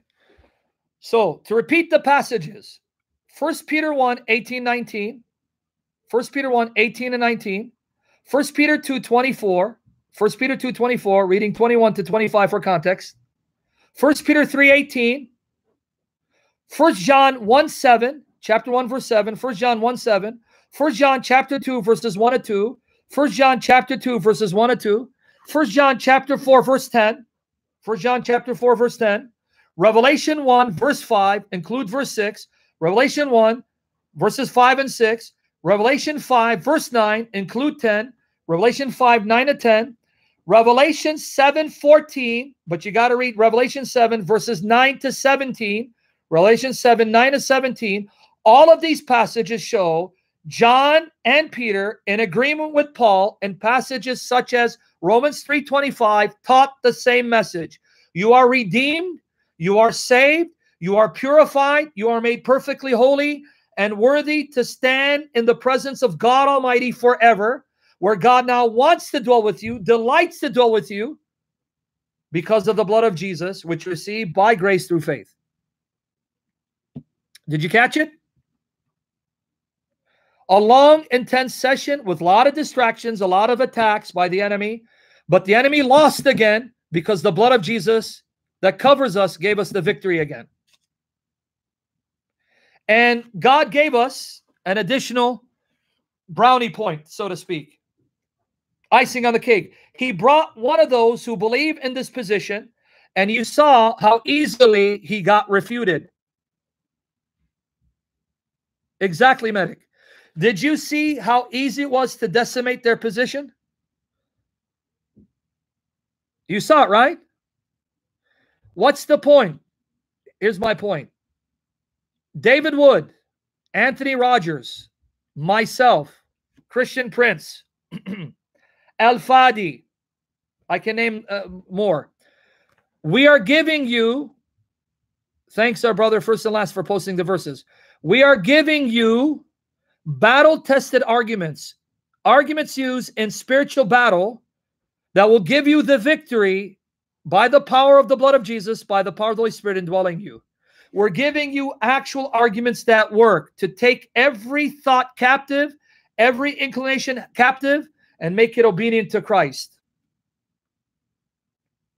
Stuff that you won't learn in Bible colleges or seminaries. I guarantee you, you won't learn this stuff. You with me there? You with me there? So let me end this session with Second Corinthians 10, verses 3 to 6. And then we're going to come back in 20 more minutes. Are you guys tired? Or are you up for another session?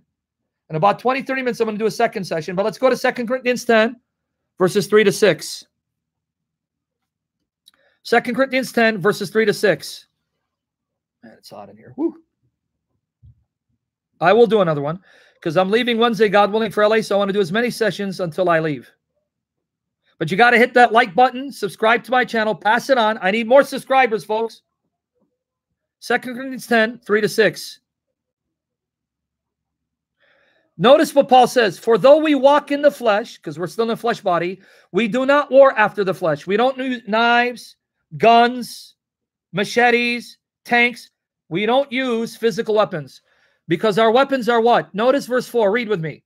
For the weapons of our warfare are not carnal, they're not physical, they're not fleshly, but mighty through God to the pulling down of strongholds, destroying walls, taking cities captives, you know, casting down imaginations. Any imagination that puts itself above Christ, we cast it down, we demolish it.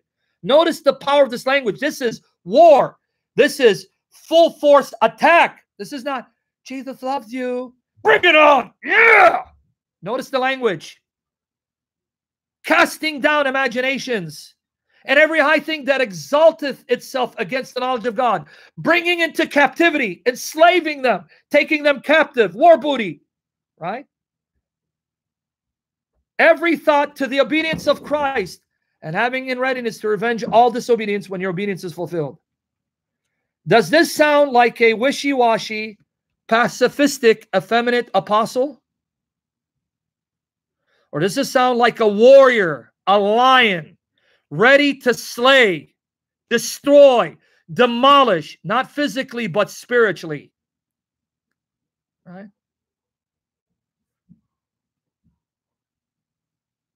Right? So Paul wasn't one who's going to say, Jesus loves you, brother. I love you too. Did I offend you, sir? I'm sorry. Folks, you don't start you don't start riots. You don't start riots. Listen to me. You don't start riots, cause divisions, get beat up, and stone by being a wishy-washy effeminate.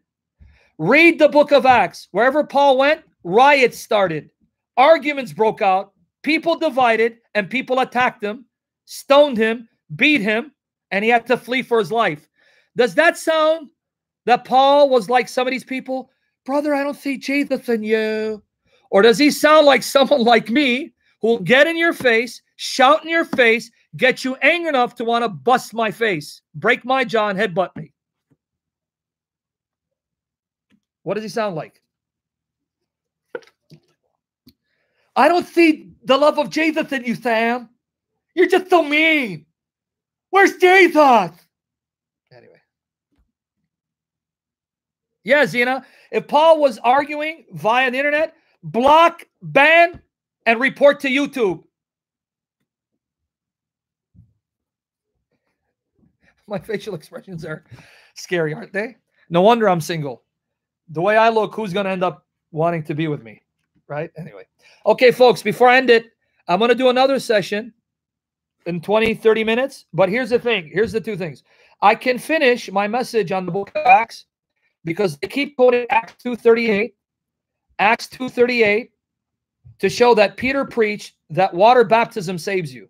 So if you want me to finish this topic and show you that in the book of Acts, the message of salvation wasn't one that said you had to get baptized to be saved, but it's a consistent message that you're saved by the grace of Jesus, which you receive by faith.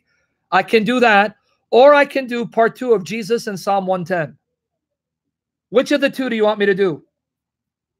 Do you want me to finish the gospel of Jesus Christ as preached in the book of Acts to show that water baptism doesn't save? And then do Jesus and Psalm 110 tomorrow, God willing? Okay, for those of you who want me to do the book of Acts, put Acts. For those who do Psalm 110, put Psalm 110. Put Acts if you want me to do Acts. Put Psalm 110 if you want me to do Psalm 110.